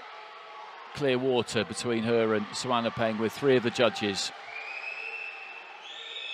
Suwannapheng has played a big part in this fight and continues to do so here. Never taken a backward step, has landed a good amount of leather on Sürmeneli, but it's just that the Turkish fighter is has outweighed that with what she's managed to get through with, particularly in that second round.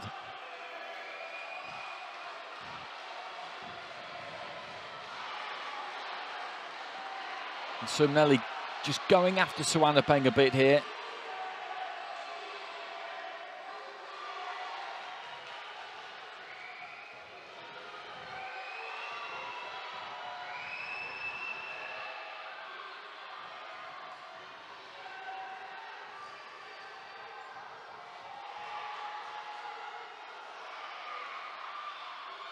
Won that Olympic gold medal at 69 kilos, of course, and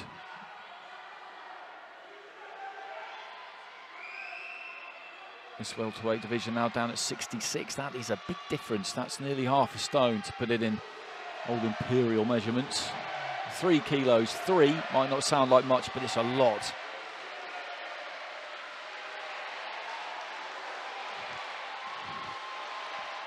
Has been able to take that off comfortably. So 69 was obviously above where her real natural weight is, you would have to say.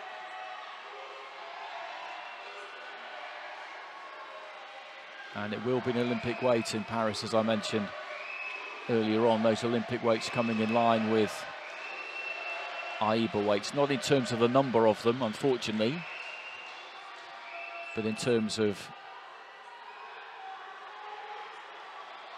what the actual classifications are. So welterweight was 69. It was changed to 66 at the end of last year. And for the Olympic qualification, it will be 66. It's total common sense that that would happen, but but sometimes uh, in sport, common sense doesn't play quite as big a role as you might expect. So into the final few seconds here,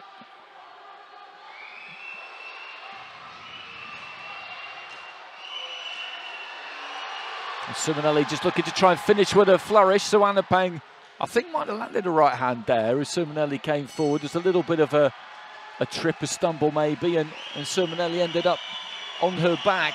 And she's won this fight, but I tip my hat there to Janjaem Suwannapheng because she set her stall out right from the very beginning.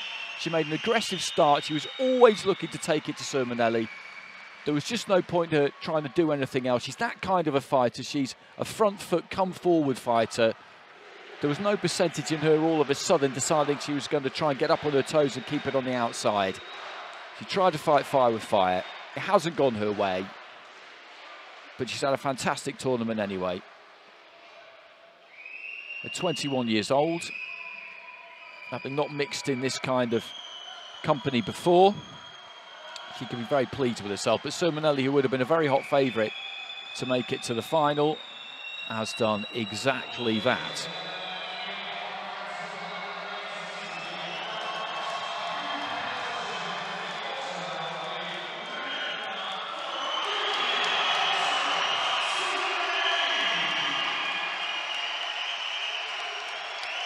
Through she goes by unanimous decision.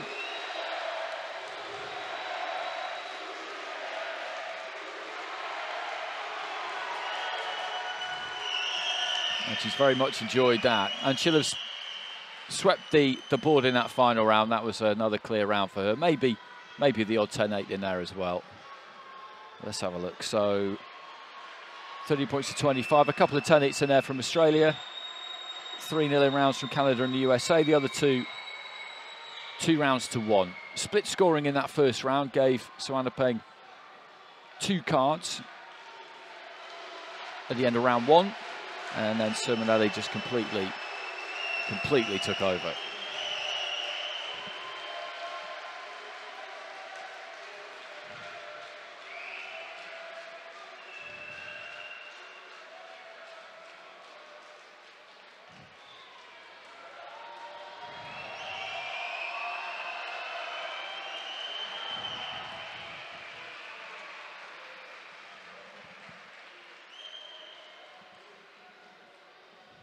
Friends and family in the crowd, I'm sure.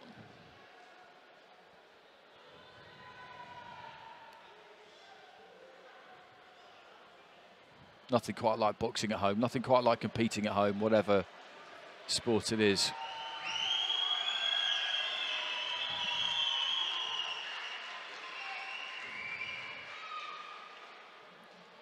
And they've had a good evening session. Turkey, Çakıroğlu winning her fight. Akbas winning hers. Sürmeneli has now won hers. They've got one more to go in the heavyweight division, Sennur Demir. But first up, we have got the middleweights.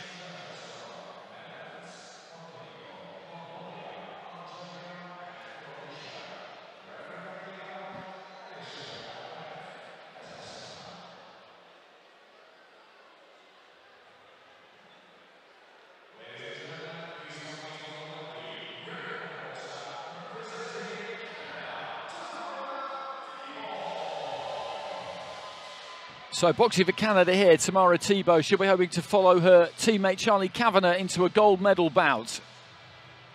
Beat Caitlin Parker of Australia in the quarterfinals. Gold medalist at the American Championships in Ecuador. Beating Atheyna Bylon in the semi-final, Bylon of Panama in the other semi-final here. she's won bronzes at the Pan Ams, at the Commonwealth Games, and won that American Championships once before in 2017. So a lot of hardware in the trophy cabinet of Tammara Thibeault, not as much for Rady Gramane of Mozambique. But she silvered at the All Africa Games in 2019. First place in the African Zone 4 Women's Championships this year, earlier this year. Thibeault. Got a bye and then there's one by unanimous decision twice. Gramane, unanimous decision, and a couple of 3-2s. One in the quarterfinals against Karolina Makhno of Ukraine.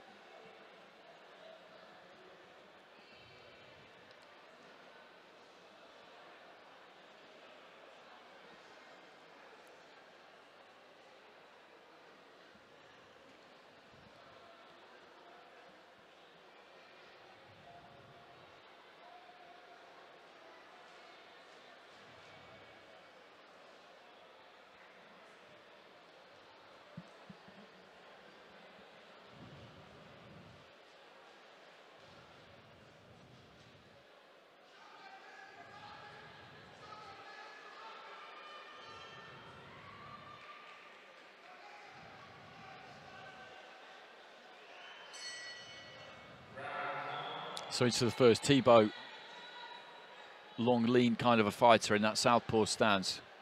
Gramane of Mozambique also southpaw. Looks to get up a little bit tighter. She'll need to get onto the inside. That's exactly what she's looking to do there. Really trying to put it on Thibeault early on. Make her intentions absolutely clear. Has Thibeault got that nice snappy jab that ideally you need to deal with someone like Gramane.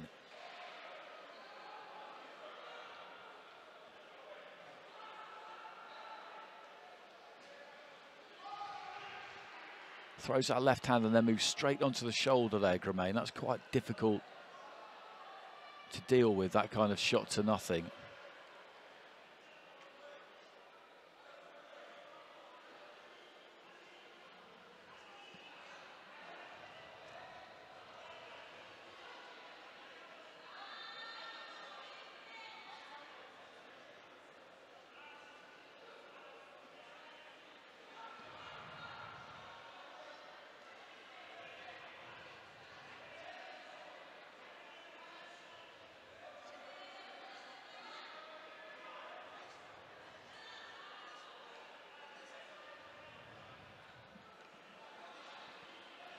This is messy so far. It's difficult for Thibeault to get a real grip of this because Gramane, a lot of the time, he's throwing those singles and then moving straight onto the shoulder and wrapping her up. It makes it very, very difficult to counter. So you're looking for that single shot and then you come in behind it and your opponent doesn't really have room for an answer. So Thibeault just needs to back up a little bit, which he did there, and she does there again. Try and give herself a bit of space, a bit of room to work in as Gramane comes forward. When they're up close and personal like that, you would imagine that will favour the fighter in blue because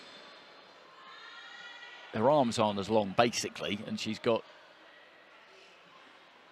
the potential to, to get them free and and use them to better effect than Thibeault anyway. Well, the referee's taking a point.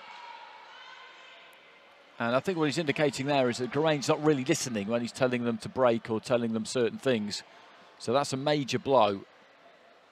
And may well affect the way she goes about this. There's a lovely uppercut from, from Thibeault. That's exactly what I was talking about. As Gramane comes in, she just stepped back slightly across with that left foot and timed her with the uppercut.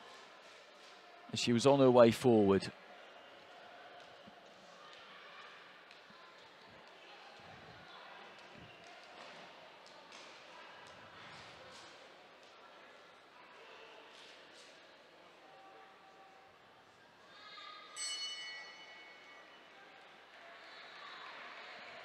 That'll go to the end of the first round. Point deduction there for Gramane, and if the cards have gone against her as well, which I suspect they might, then then that's a huge first round for Thibeault, who towards the end there just started to really figure it out, figure out that style. That's what international amateur boxing's about in, in so many ways, and she's got it with four out of the five judges there. Lots of fights you'll have seen before, some you won't, some you'll have seen a bit, some you might have sparred, but basically you have to work it out on the job. And if you've not been in with somebody before, and if they've got that kind of bull-like uh, approach that Gramane has got, it's hard to deal with because she's muscular, she's strong, she throws those punches, dips her head, and travels in towards you at pace. You've got to have the confidence to just step off and give yourself a bit of room. Try and meet her on the way in. Thibeault did that well. So on those four cards that she's won, they are 10-8 advantages because of the point deduction. So it's a great start for her, really. Gramane will do more of the same in the second round. It's, it's the way she knows. And another point, another point, and it's for bringing the head in low. He made the same gesture in the in the first round, and I thought it might have been. He seemed to be tapping his ears. I thought it might have been because the fighter wasn't really listening. But given what just happened there, it has to be because she's dipping quite low at the waist, just bringing that head in low and, and keeping it there. There's no real danger of a head clash with it because she's shorter anyway. And then when she dips as low as that, it just ends up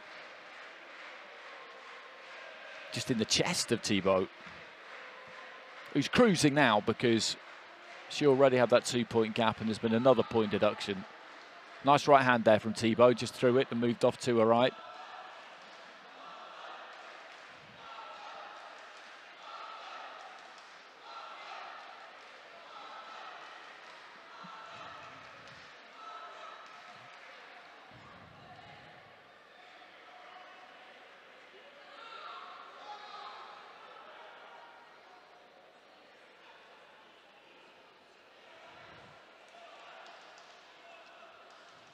And the bronze medal that Gramane has won here is Mozambique's first ever medal in the Women's World Championship. So she's had a, a tremendous, tremendous run to get this far.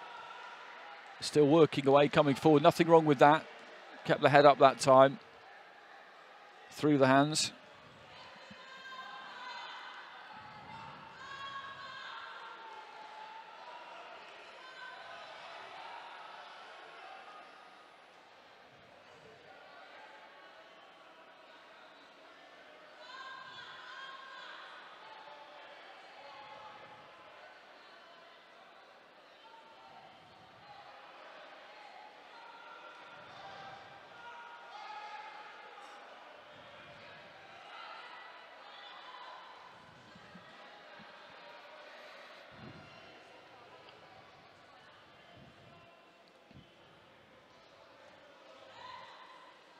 Nice combination there from Thibeault. Long and loose, finished with the right hand. This is another round for the red corner. The energy the desire is still there from Gramane. And this approach has got her all the way to the semi-finals, so you can't say that it hasn't been successful because it absolutely has. But maybe when you get up to this kind of rarefied air, it's going to need a bit of refining.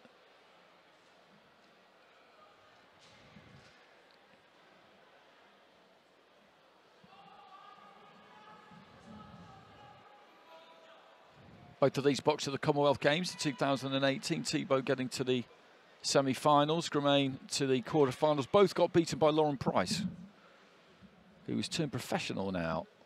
Well, GB Boxing made an interesting announcement recently that Price and Karis Artingstall, who got a bronze at the Olympics, Price got gold, of course, they're going to continue to train with the GB setup in, in Sheffield, the elite amateur setup in Great Britain they will take care of her as a professional. They will have the the opportunity, we understand, to box in Paris to make themselves available to take part in that next Olympic Games, which of course is only two years away now, or two and a bit. So that was an interesting, quite radical departure there actually for the, the amateur setup of of one of the sport's leading nations in, in recent times. Had a great Olympics, GB, six medals overall.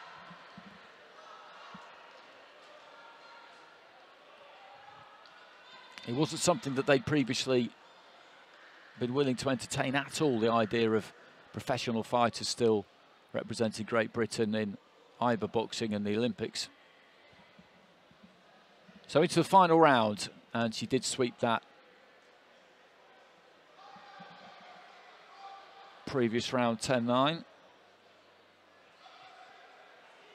So a big, big advantage heading into round three. Really, if you're Thibeault in this situation, what you want to try and make sure in this final round is you just don't pick up any kind of silly injury, some kind of head clash. That is a possibility against Gramane. Nice uppercut there from Thibeault. Timed her on the way in again and again with the left. With head guards, of course, head clashes become less likely, but they do still happen. They can still happen.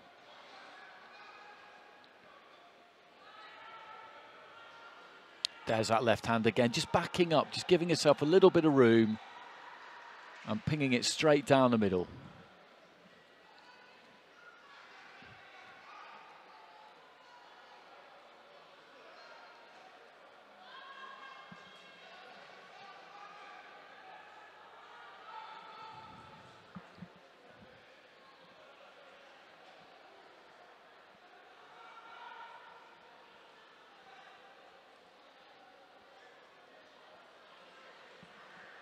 Heading into the final minute.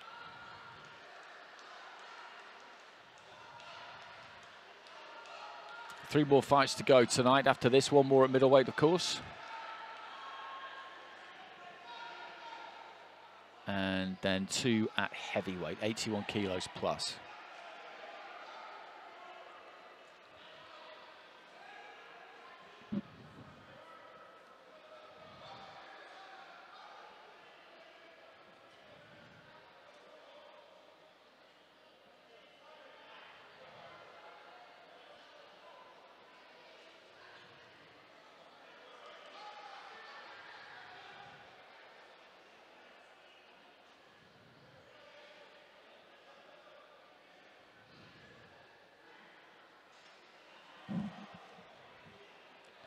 Closing stages. Tammara Thibeault of Canada is going to go through to the final where she will face the winner of Davina Michel and Atheyna Bylon. Great left uppercut there about 20 seconds ago from Thibeault who showed us some some very good all-round technical skills there. You can see exactly how she won that American Championships a few months ago and how she won it back in 2017. Just had a little look at Gramane in the first half of the first round and then just started to adjust those feet, catch her on the way in, avoid those marauding attacks. And she made quite easy work there, actually, of a very awkward opponent.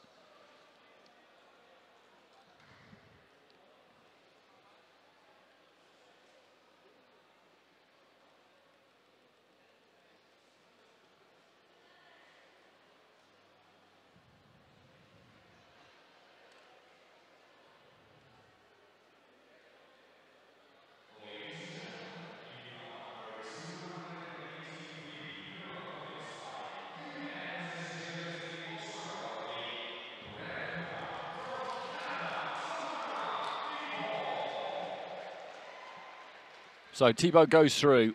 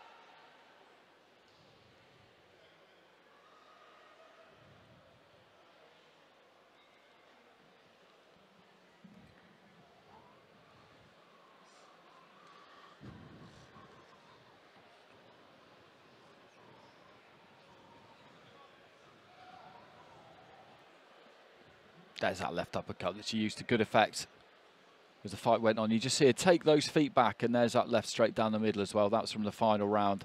A high quality bit of work. Sees her opponent just coming towards her, has a composure, just to slide back and then throw that left hand. Our second women's middleweight semi-final now between Atheyna Bylon who lost to Thibeault in that American Championships final in Guayaquil, Ecuador, earlier this year.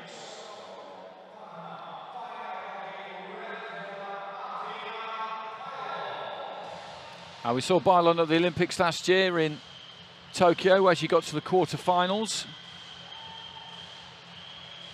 Won the American Championships herself in Vargas, Venezuela in 20 18. She's won the South American Games as well and the World Championships way back in 2014. She hasn't had any success in this competition since then, so it's been a long time coming.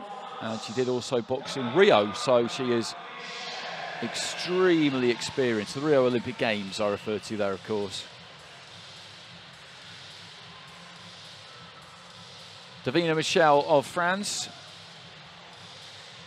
24 years old, as opposed to Bylon's 32.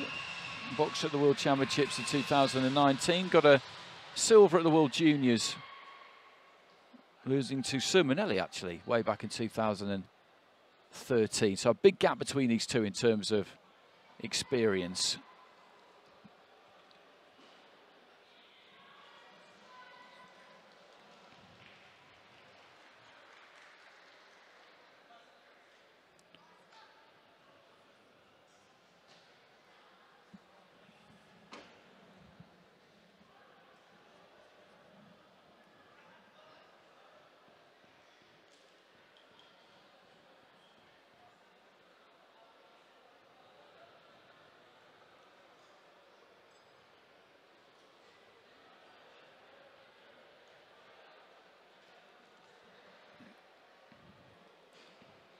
Bylon beat Turkey's Bursa Isilda in the quarterfinals, 4-1 split decision. Good fighter Isilda. Saw her last year quite a bit and not surprised that she made it all the way to the quarterfinals. Michel of France beat Kerry Davis of England in her quarterfinal. Scored a stoppage earlier in the competition. So Bylon in the red, Michel in the blue. Physically, they're pretty similar. Michel, a little bit thicker set when you look at her there, across the shoulders, across the biceps. Similar kinds of heights. Both looking to try and establish the jab early on.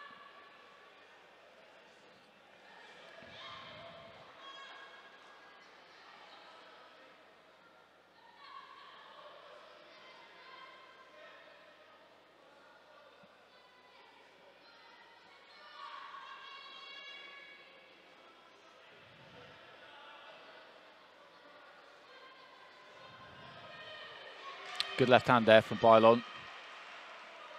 Got through as these two are just revolving around each other in the middle of the ring. Just getting up on their toes a little bit there, Bylon, shaking out those gloves as well. Long left hand blocked. by Michel.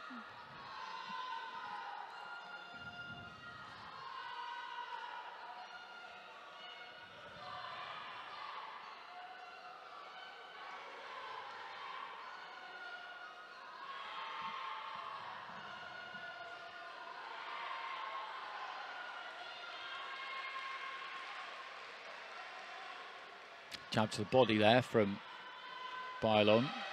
Gets through with that lead right hand as well. She's just having slightly the better of this. Picking her punches slightly better. Just short with the jab there, Michel.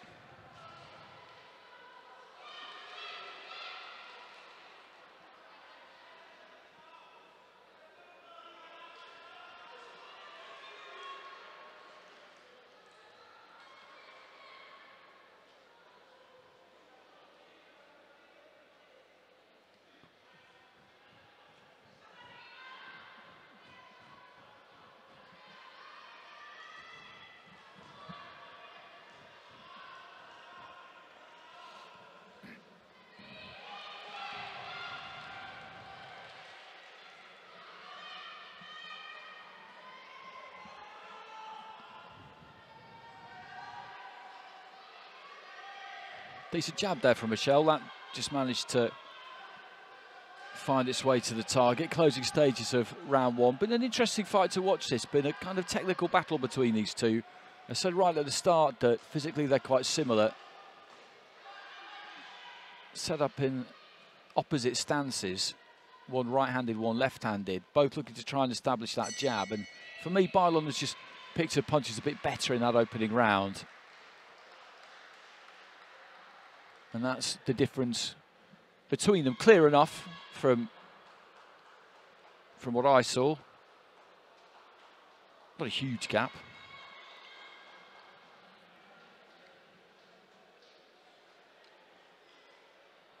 She's a policewoman, Atheyna Bylon. 10 lines across the board there for her. Get quite a lot of police officers in elite IBA boxing.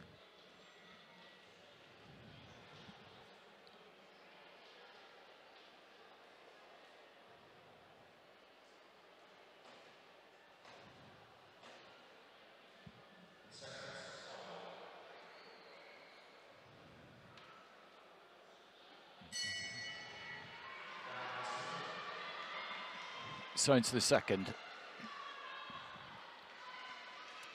Bylon with that first round in the bag. Michel needs this second round now. So she might have to be a little bit more expansive, which could play into Bylon's hands. In these three round fights, the first round is is so important.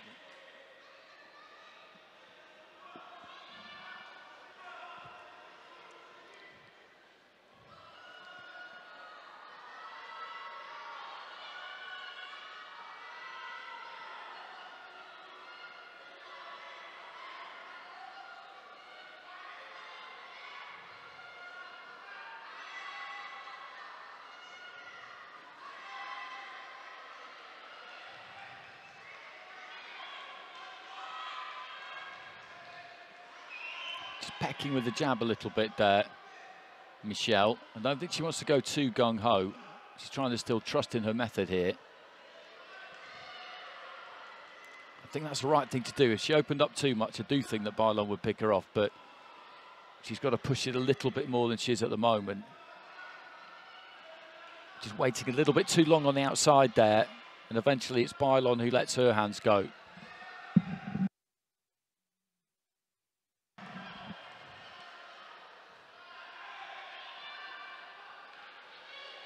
Left hand into the body there from Bylon. She's just got a bit more variety and a slight sign of frustration there from Michel as she got pushed into the corner post. She's held on to it for a second and it was a kind of gesture that suggested a slight rolling of the eyes. She's not really able to get a hold of Atheyna Bylon. I think it's it is proving a bit frustrating. She inched in with her front foot there, then let that right go.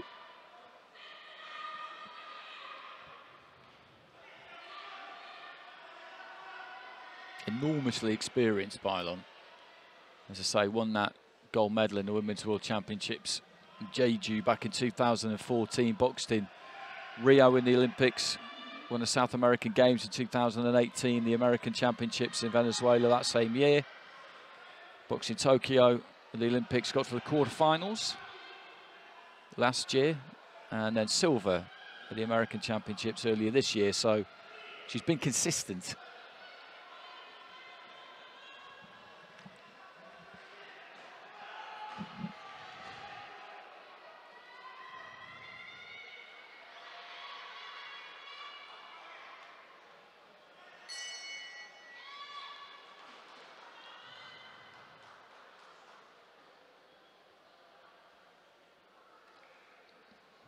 And again, I thought that was, well, it was another clear round for Atheyna Bylon. Michel's trying what she can here, but Bylon's just the better fighter of the two. It's as simple as that.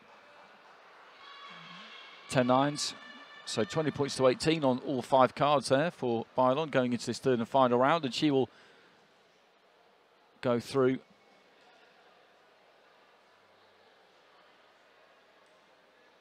to face Tammara Thibeault in a rematch of their final in Ecuador.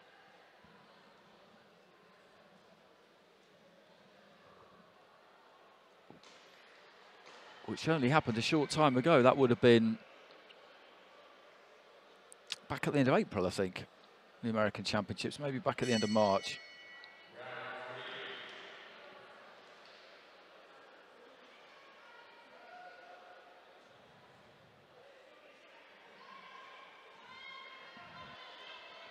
Carries those hands low.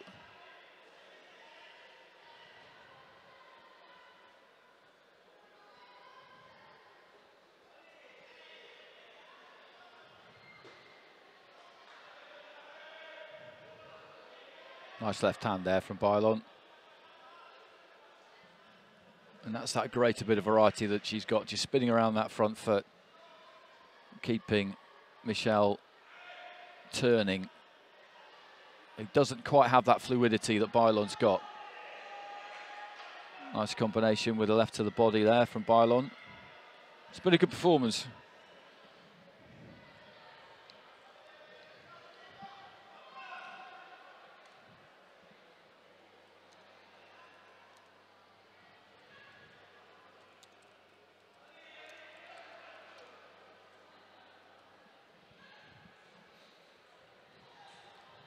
But this is a great step up for Michel.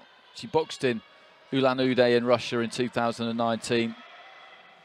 Went out fairly swiftly though, so this is a massive stride forward to go from that to reaching the semi-finals, taking a bronze medal and 25,000 US dollars.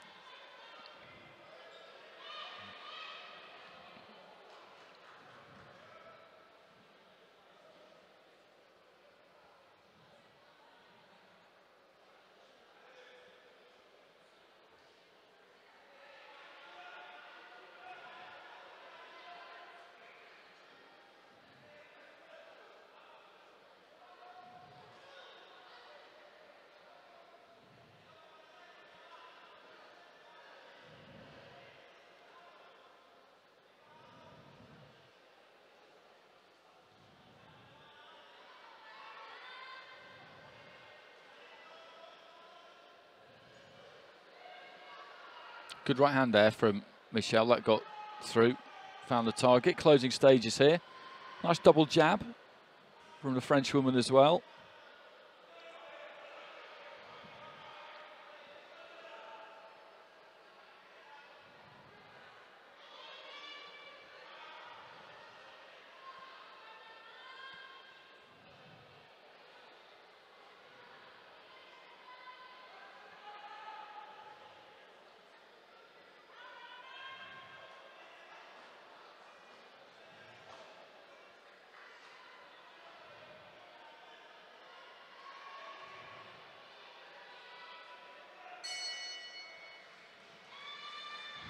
So Atheyna Bylon is going to go through to the final at 75 kilos with what you would probably describe as the minimum of fuss there, really.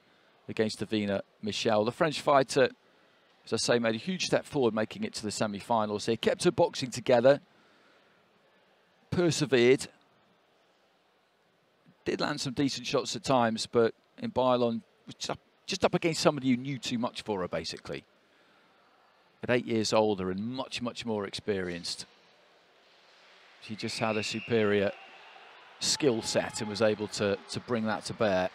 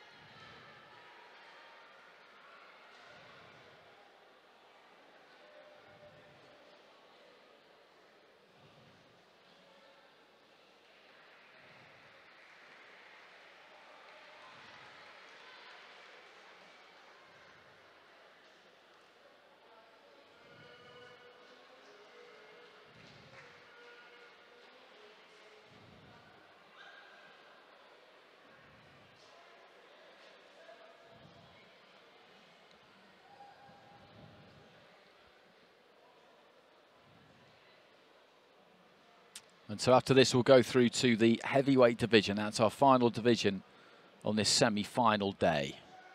Our final two fights. Sennur Demir of Turkey will be hoping to make it five winning semi-finalists for the home nation. Up against Lidia Fidura of Poland. Two very experienced fighters there. Then we'll have Khadija Mardi of Morocco and Mokhira Abdullaeva of Uzbekistan.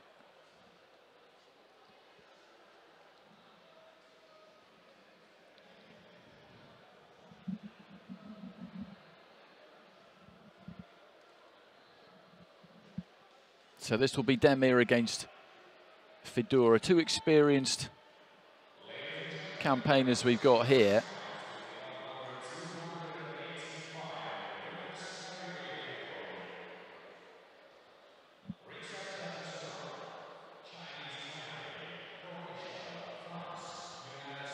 Sennur Demir is 39 years old, up against a mere 32-year-old in Lidia Fidura.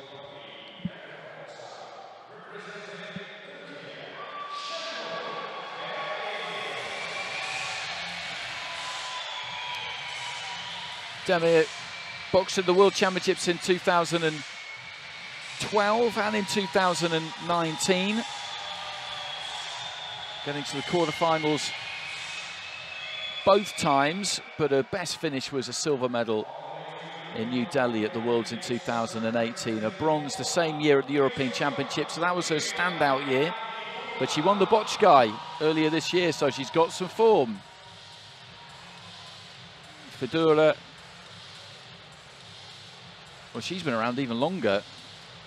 Boxing at World Championships in 2010, 2012, 2014, 2016. Consistently getting to the last 16 on one occasion to the quarterfinals. Bronze medal at the European Championships in 2018 and still Polish women's national champions. So these two definitely, definitely feel that they could get something done here. Fidura beating Maria Lovchinska of Ukraine in her quarterfinal. Demir getting a, a stoppage, an RSC in round three against Diana Romero of Colombia. They've had a good day, the Turkish fans. Not such a great afternoon. One fighter out of three getting through. But it's been three out of three in the evening session. And they will be hoping that Demir can make it four.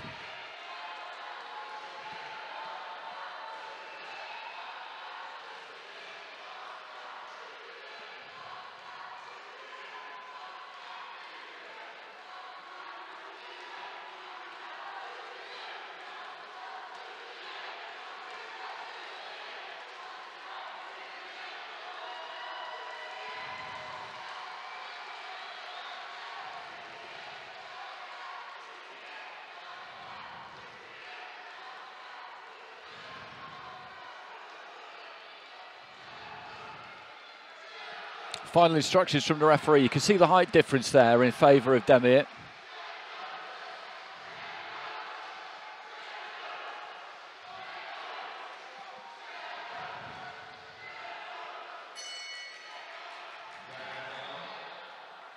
So Demir is southpaw, boxing in the red, representing Turkey. Fidura, Poland, in the blue. It's the heavyweight division, so over 81 kilos. Right hand on the inside there, landed for Fidura.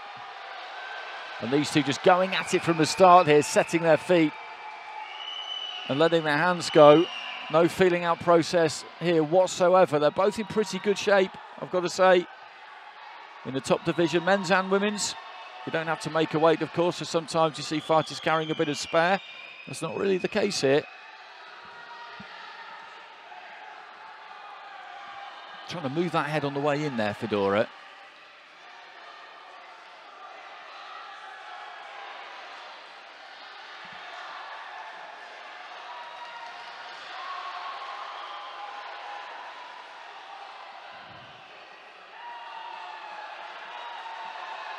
just trying to maul Demir, trying to get onto the inside and crawl all over it. Demir's not allowing that to happen. Trying to use that southpaw 1-2 and just catches Fidura as she rolled up there. She was moving the head on the way in, as she has to. We're not even halfway through the round and there have been so many punches thrown. Good combination there, nice 1-2 from Demir. They cannot possibly keep this up, you wouldn't imagine. And these top divisions, to see a pace like this is, is unusual.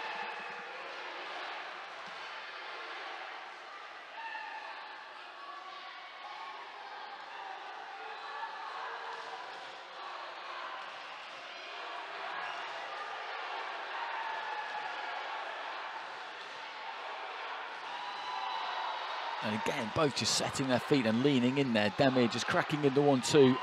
Nice lead left hand catches Fidura again there, but Fidura just shrugs her off and looks to come forward into the final minute of this first round. Again, she's digging her toes in and banging in that one too there, Demir. And does it again and then just steps off to the left. That step to the left afterwards is absolutely crucial. She can't just stand there and admire her work because Fidura will just keep coming onto it all through the fight, you would imagine.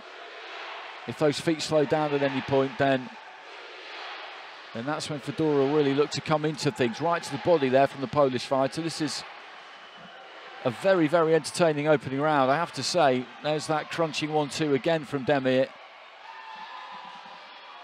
It doesn't seem to be deterring Fidura in any way.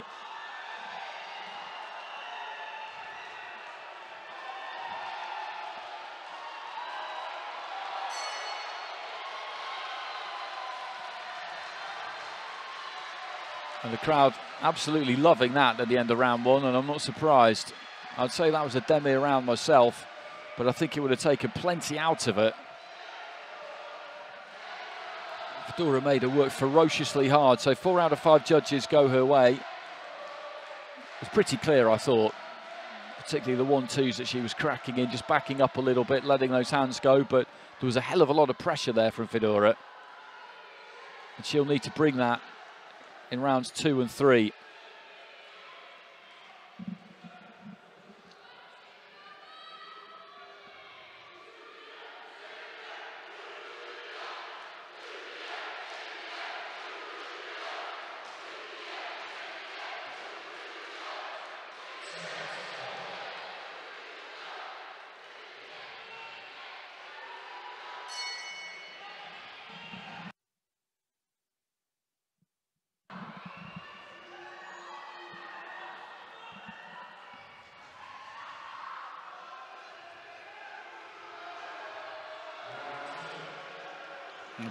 Forward she comes immediately there, Fidura, head dipped, walking in.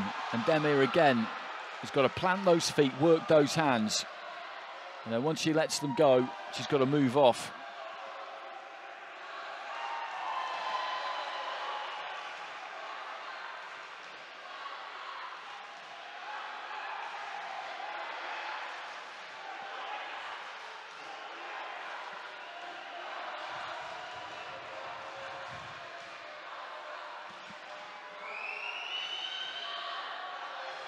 And this really is just a, a test of, of Demir's stamina more than, than anything else. Fidura's as well, but Fidura is obviously very confident that she can keep this kind of pace going. And the questions he's asking of Demir is, can you?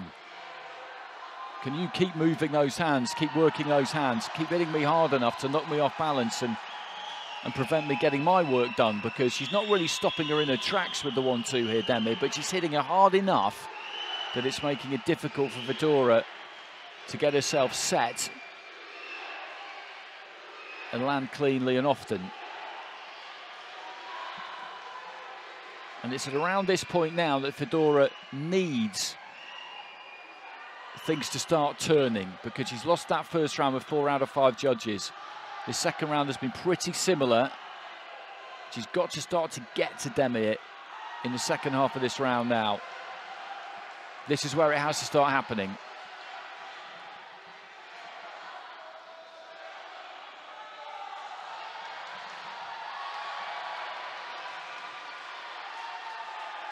Good combination there from Demir again, though. She's trying to trap her in the corner there, Fidura. Demir wasn't having any of it. She's backed her up into the neutral corner here, though. Maybe just waited a little bit too long there, Fidura. Demir went there voluntarily. Maybe felt that she was being tempted in there. Fidura lured in. Good left hand there from Demir. And another left. And if anything, it's maybe Fidura who might be feeling the pace a bit here. Just been caught comfortably, easily by Demir as she comes in. The headers stop moving as much and I think it's, if anything, it's turned the other way here. Demir is just hitting Fidura at will almost as she walks forward. But she continues to do that left into the body. It was a good shot there from Demir.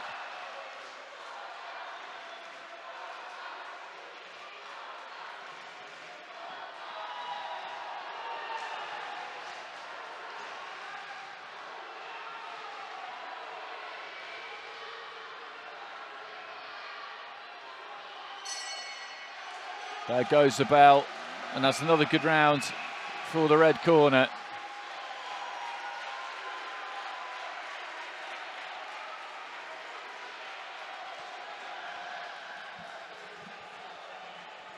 And she doesn't look to be blowing too hard there at all. And when you consider that she is at the veteran stage, really, that is impressive. 10 nines across the board, four scores of 20 points to 18, 119 19. So big lead there for, for Demir. And as I said, in the second half of that second round, that was where it needed to start happening for Fidura. That was where she needed to start to see Demir wilt, but it was the other way around. It was the other way around.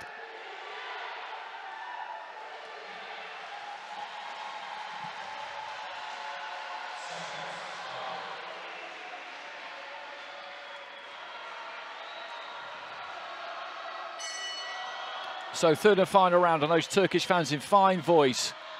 It looks very much like four of their semi-finalists in this evening session are going to go through, which will make it five out of seven in total. So they'll have two bronzes, and they'll be guaranteed at least five silvers, but they'll be looking to convert plenty of those five into gold. That will be the idea when we hit the finals tomorrow and Friday.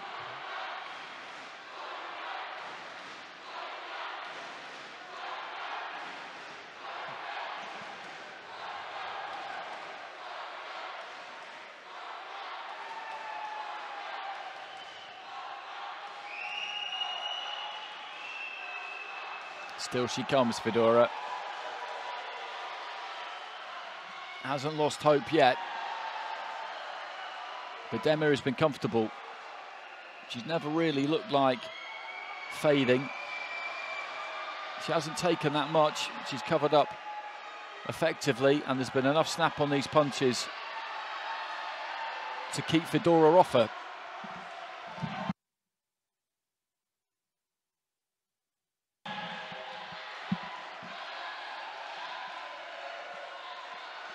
Taking a little bit of a backward step there, Demir, heaving in a couple of breaths midway through round three. But she's retreated to corners to the ropes voluntarily.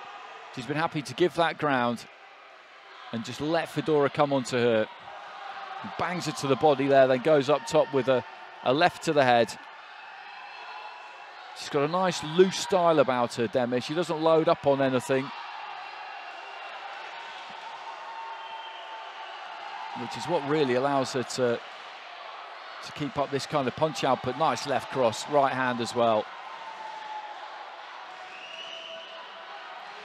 Terrific pace to this, as I said before, for a heavyweight fight. And Fidura, you've got to give her a lot of credit as well. She's really digging in in this third and final round. I thought she was feeling it at the end of the second, but she just kept coming forward. She is trying to move that head. She's taken a hell of a lot of punches. None of them have been absolutely massive, but they've been hard enough.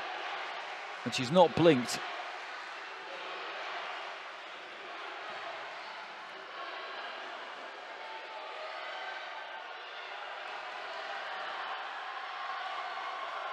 And again, just setting those feet, keeping those hands on the move.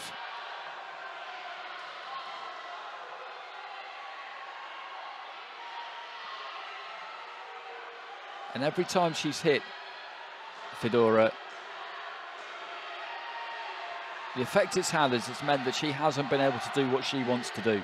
She's never looked hurt, but it's just taken her balance away, robbed her of the purchase on her punches. Bell goes at the end, and they know that they've got another fighter through to a final. And that was a very enjoyable fight to watch, really was. And that's a very good performance from Sennur Demir, I have to say.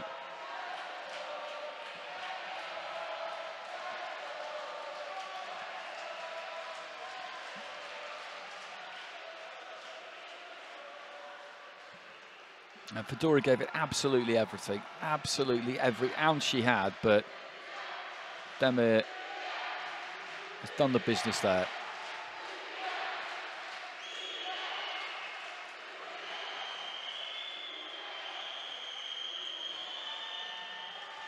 And what's most impressive about it in many ways is the fact that, as I said earlier on, she's 39 years old, Sennur Demir. She doesn't look it, I have to say. I'm not doubting the uh, the veracity of the of the stat, but um,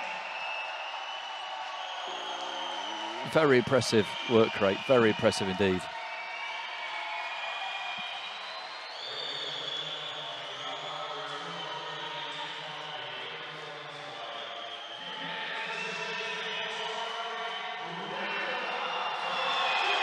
So through she goes to the final, and that completes a very successful evening session for the Turkish team. Some split scoring in that final round.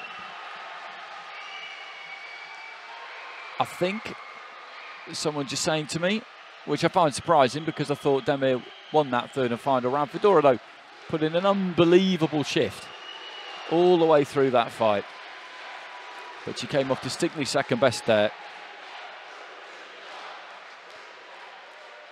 And you see the smile on her face there, and she probably never thought this would happen because when you get towards the end of an elite career, and she's almost too old to be boxing in in elite IBA boxing, for this opportunity to come up, and it's at home, it's in your home country.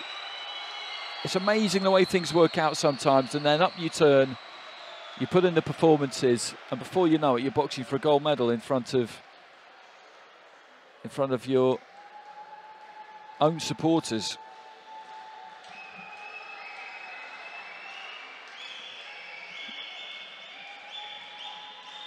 And you can see, you can see without knowing what they're saying to each other in there, you can see that this is a fairy tale for her. You really can. And for everybody involved with her. She just punched constantly and accurately against an opponent who just rolled forward towards her like a heavy goods vehicle all fight long, all nine minutes of it.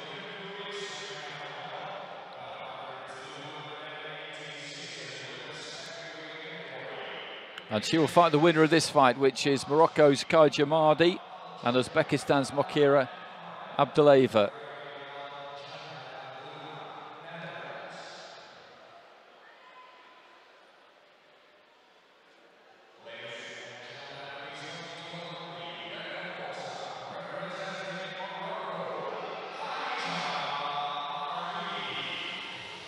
Khaija Mardi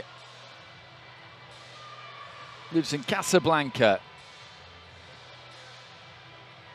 Boxed at the World Championships a number of times. 75 kilos, boxed at the Rio Olympics at 75 kilos, reaching the quarterfinals, and was at that weight all the way through to the 2020 African Olympic qualifier, which she won. She's now up at 81 plus. She didn't end up going to Tokyo, so maybe the weight in the end was just too much. It just wasn't doable anymore. 31 years old now. And this is Mokhira Abdullaeva of Uzbekistan. Bronze at the Asian Championships last year. National champion.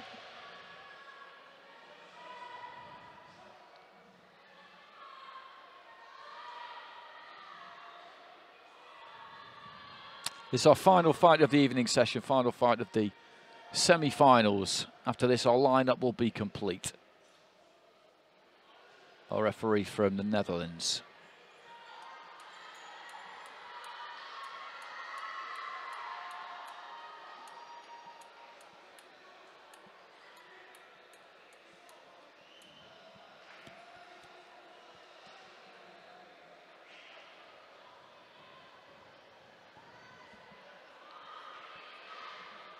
Taking a bit of time to sort that head guard out.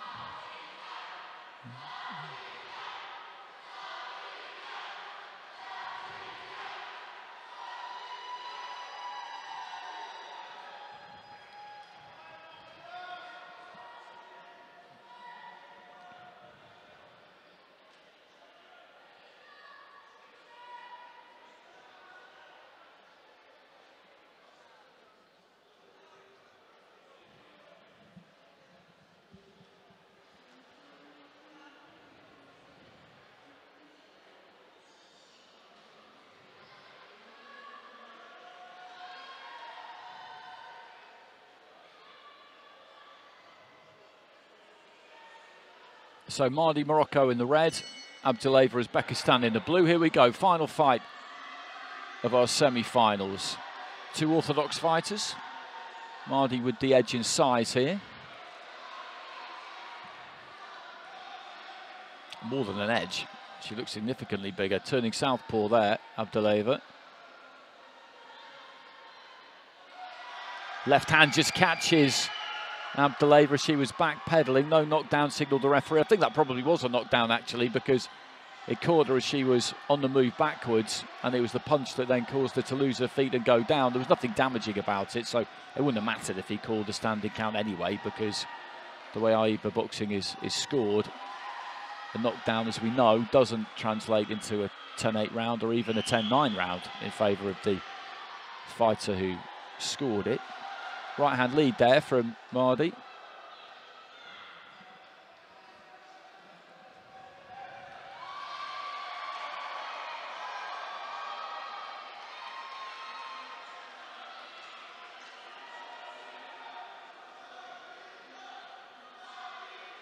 Just holding that lead glove high, Abdullaeva.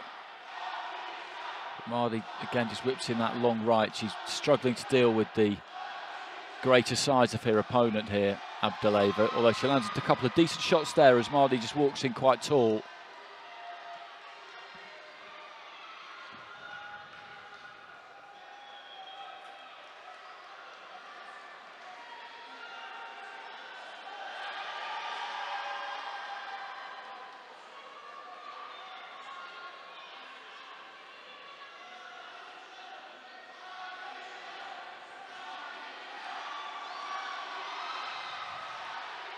Abdullaeva doing a good job of staying out of the way there. Just beginning to, to settle here. Minute remaining in round one. Not all that much clean's been landed in this round, actually. Mardi's looked like the boss because she's been on the front foot more, looking to let those hands go, but a lot of it's missed. And just walks in with the hands following the feet a bit there, and she's caught Abdullaeva who just lists into the ropes. I'm not sure what's happened there because she's got her, her left glove on her right knee. And she was a little bit of an open target there for a second. The referee has counted, but that knee looks bad. That knee looks bad. And I'm not sure she's going to be able to continue here, to be honest. And essentially, she will end up retiring through injury because I don't see any way that she can keep boxing with, with a knee in that state. She can barely put any weight on it. I've no idea what happened. It was just off to my left-hand side. The corner post was kind of in my way a bit, and she just seemed to be listing into the ropes. And my first thought was that she'd been caught and and scrambled and hit hard because she was just leaning into those ropes. But it's the knee that's the problem. We don't see low leg injuries in boxing all that much. I remember being ringside when David Haye and Tony Bellew boxed for the for the first time, and Haye ruptured his Achilles tendon after about five or six rounds, I think it was, and somehow managed to continue all the way into the 11th before his trainer Shane McGuigan decided that it was all a bit hopeless and, and threw the towel in.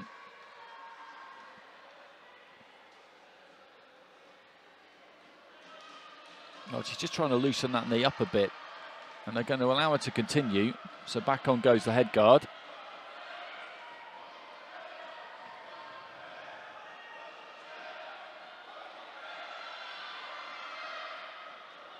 Remember Odlanier Solis twisting his ankle against Klitschko. Well, they're celebrating in the red corner. Has the referee called this one off or not?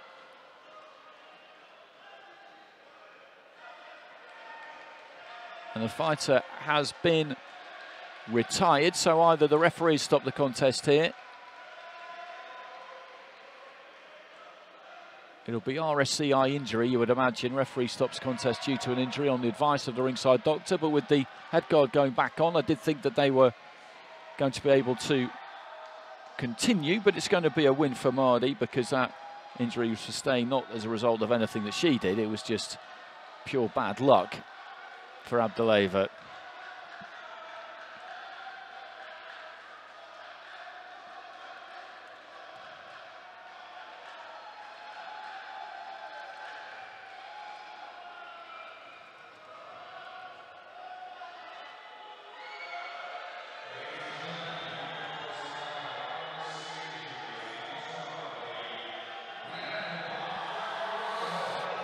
So Kai goes through and she will face Sennur Demir of Turkey in the heavyweight final. So Turkey up against Morocco in the final and that brings to a close our semi-finals. It's been a very, very enjoyable afternoon and evening session. Good day for Turkey. They've got five of their seven semi-finalists through. Ireland have got a couple through. Canada with, with two as well. So Things being spread around nicely.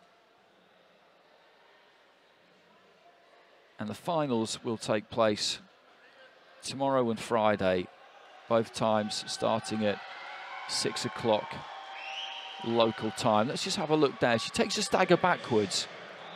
And that's, well, no, that was the the knockdown that I thought may well have been given earlier in the earlier in the round, but the end came with the injury to the right knee.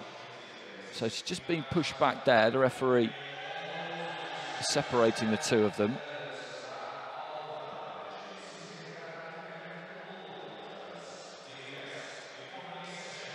Long right hand there from Mardi. And this could be it here. Getting pushed back towards the ropes. Not in any great trouble there, but just there, it just something went there, didn't it? Because she's just listing into the ropes. The referee was a bit slow, to be honest, getting in between them there, I thought, but nothing significant landed. And unfortunately, she wasn't able to continue. And that was our final action. And I'll just leave you with the results from this evening session. But as I say, please do join us Thursday and Friday, 6 o'clock local time. Whatever time that may be, wherever you are, we've got 12 great finals for you. Until then, take care.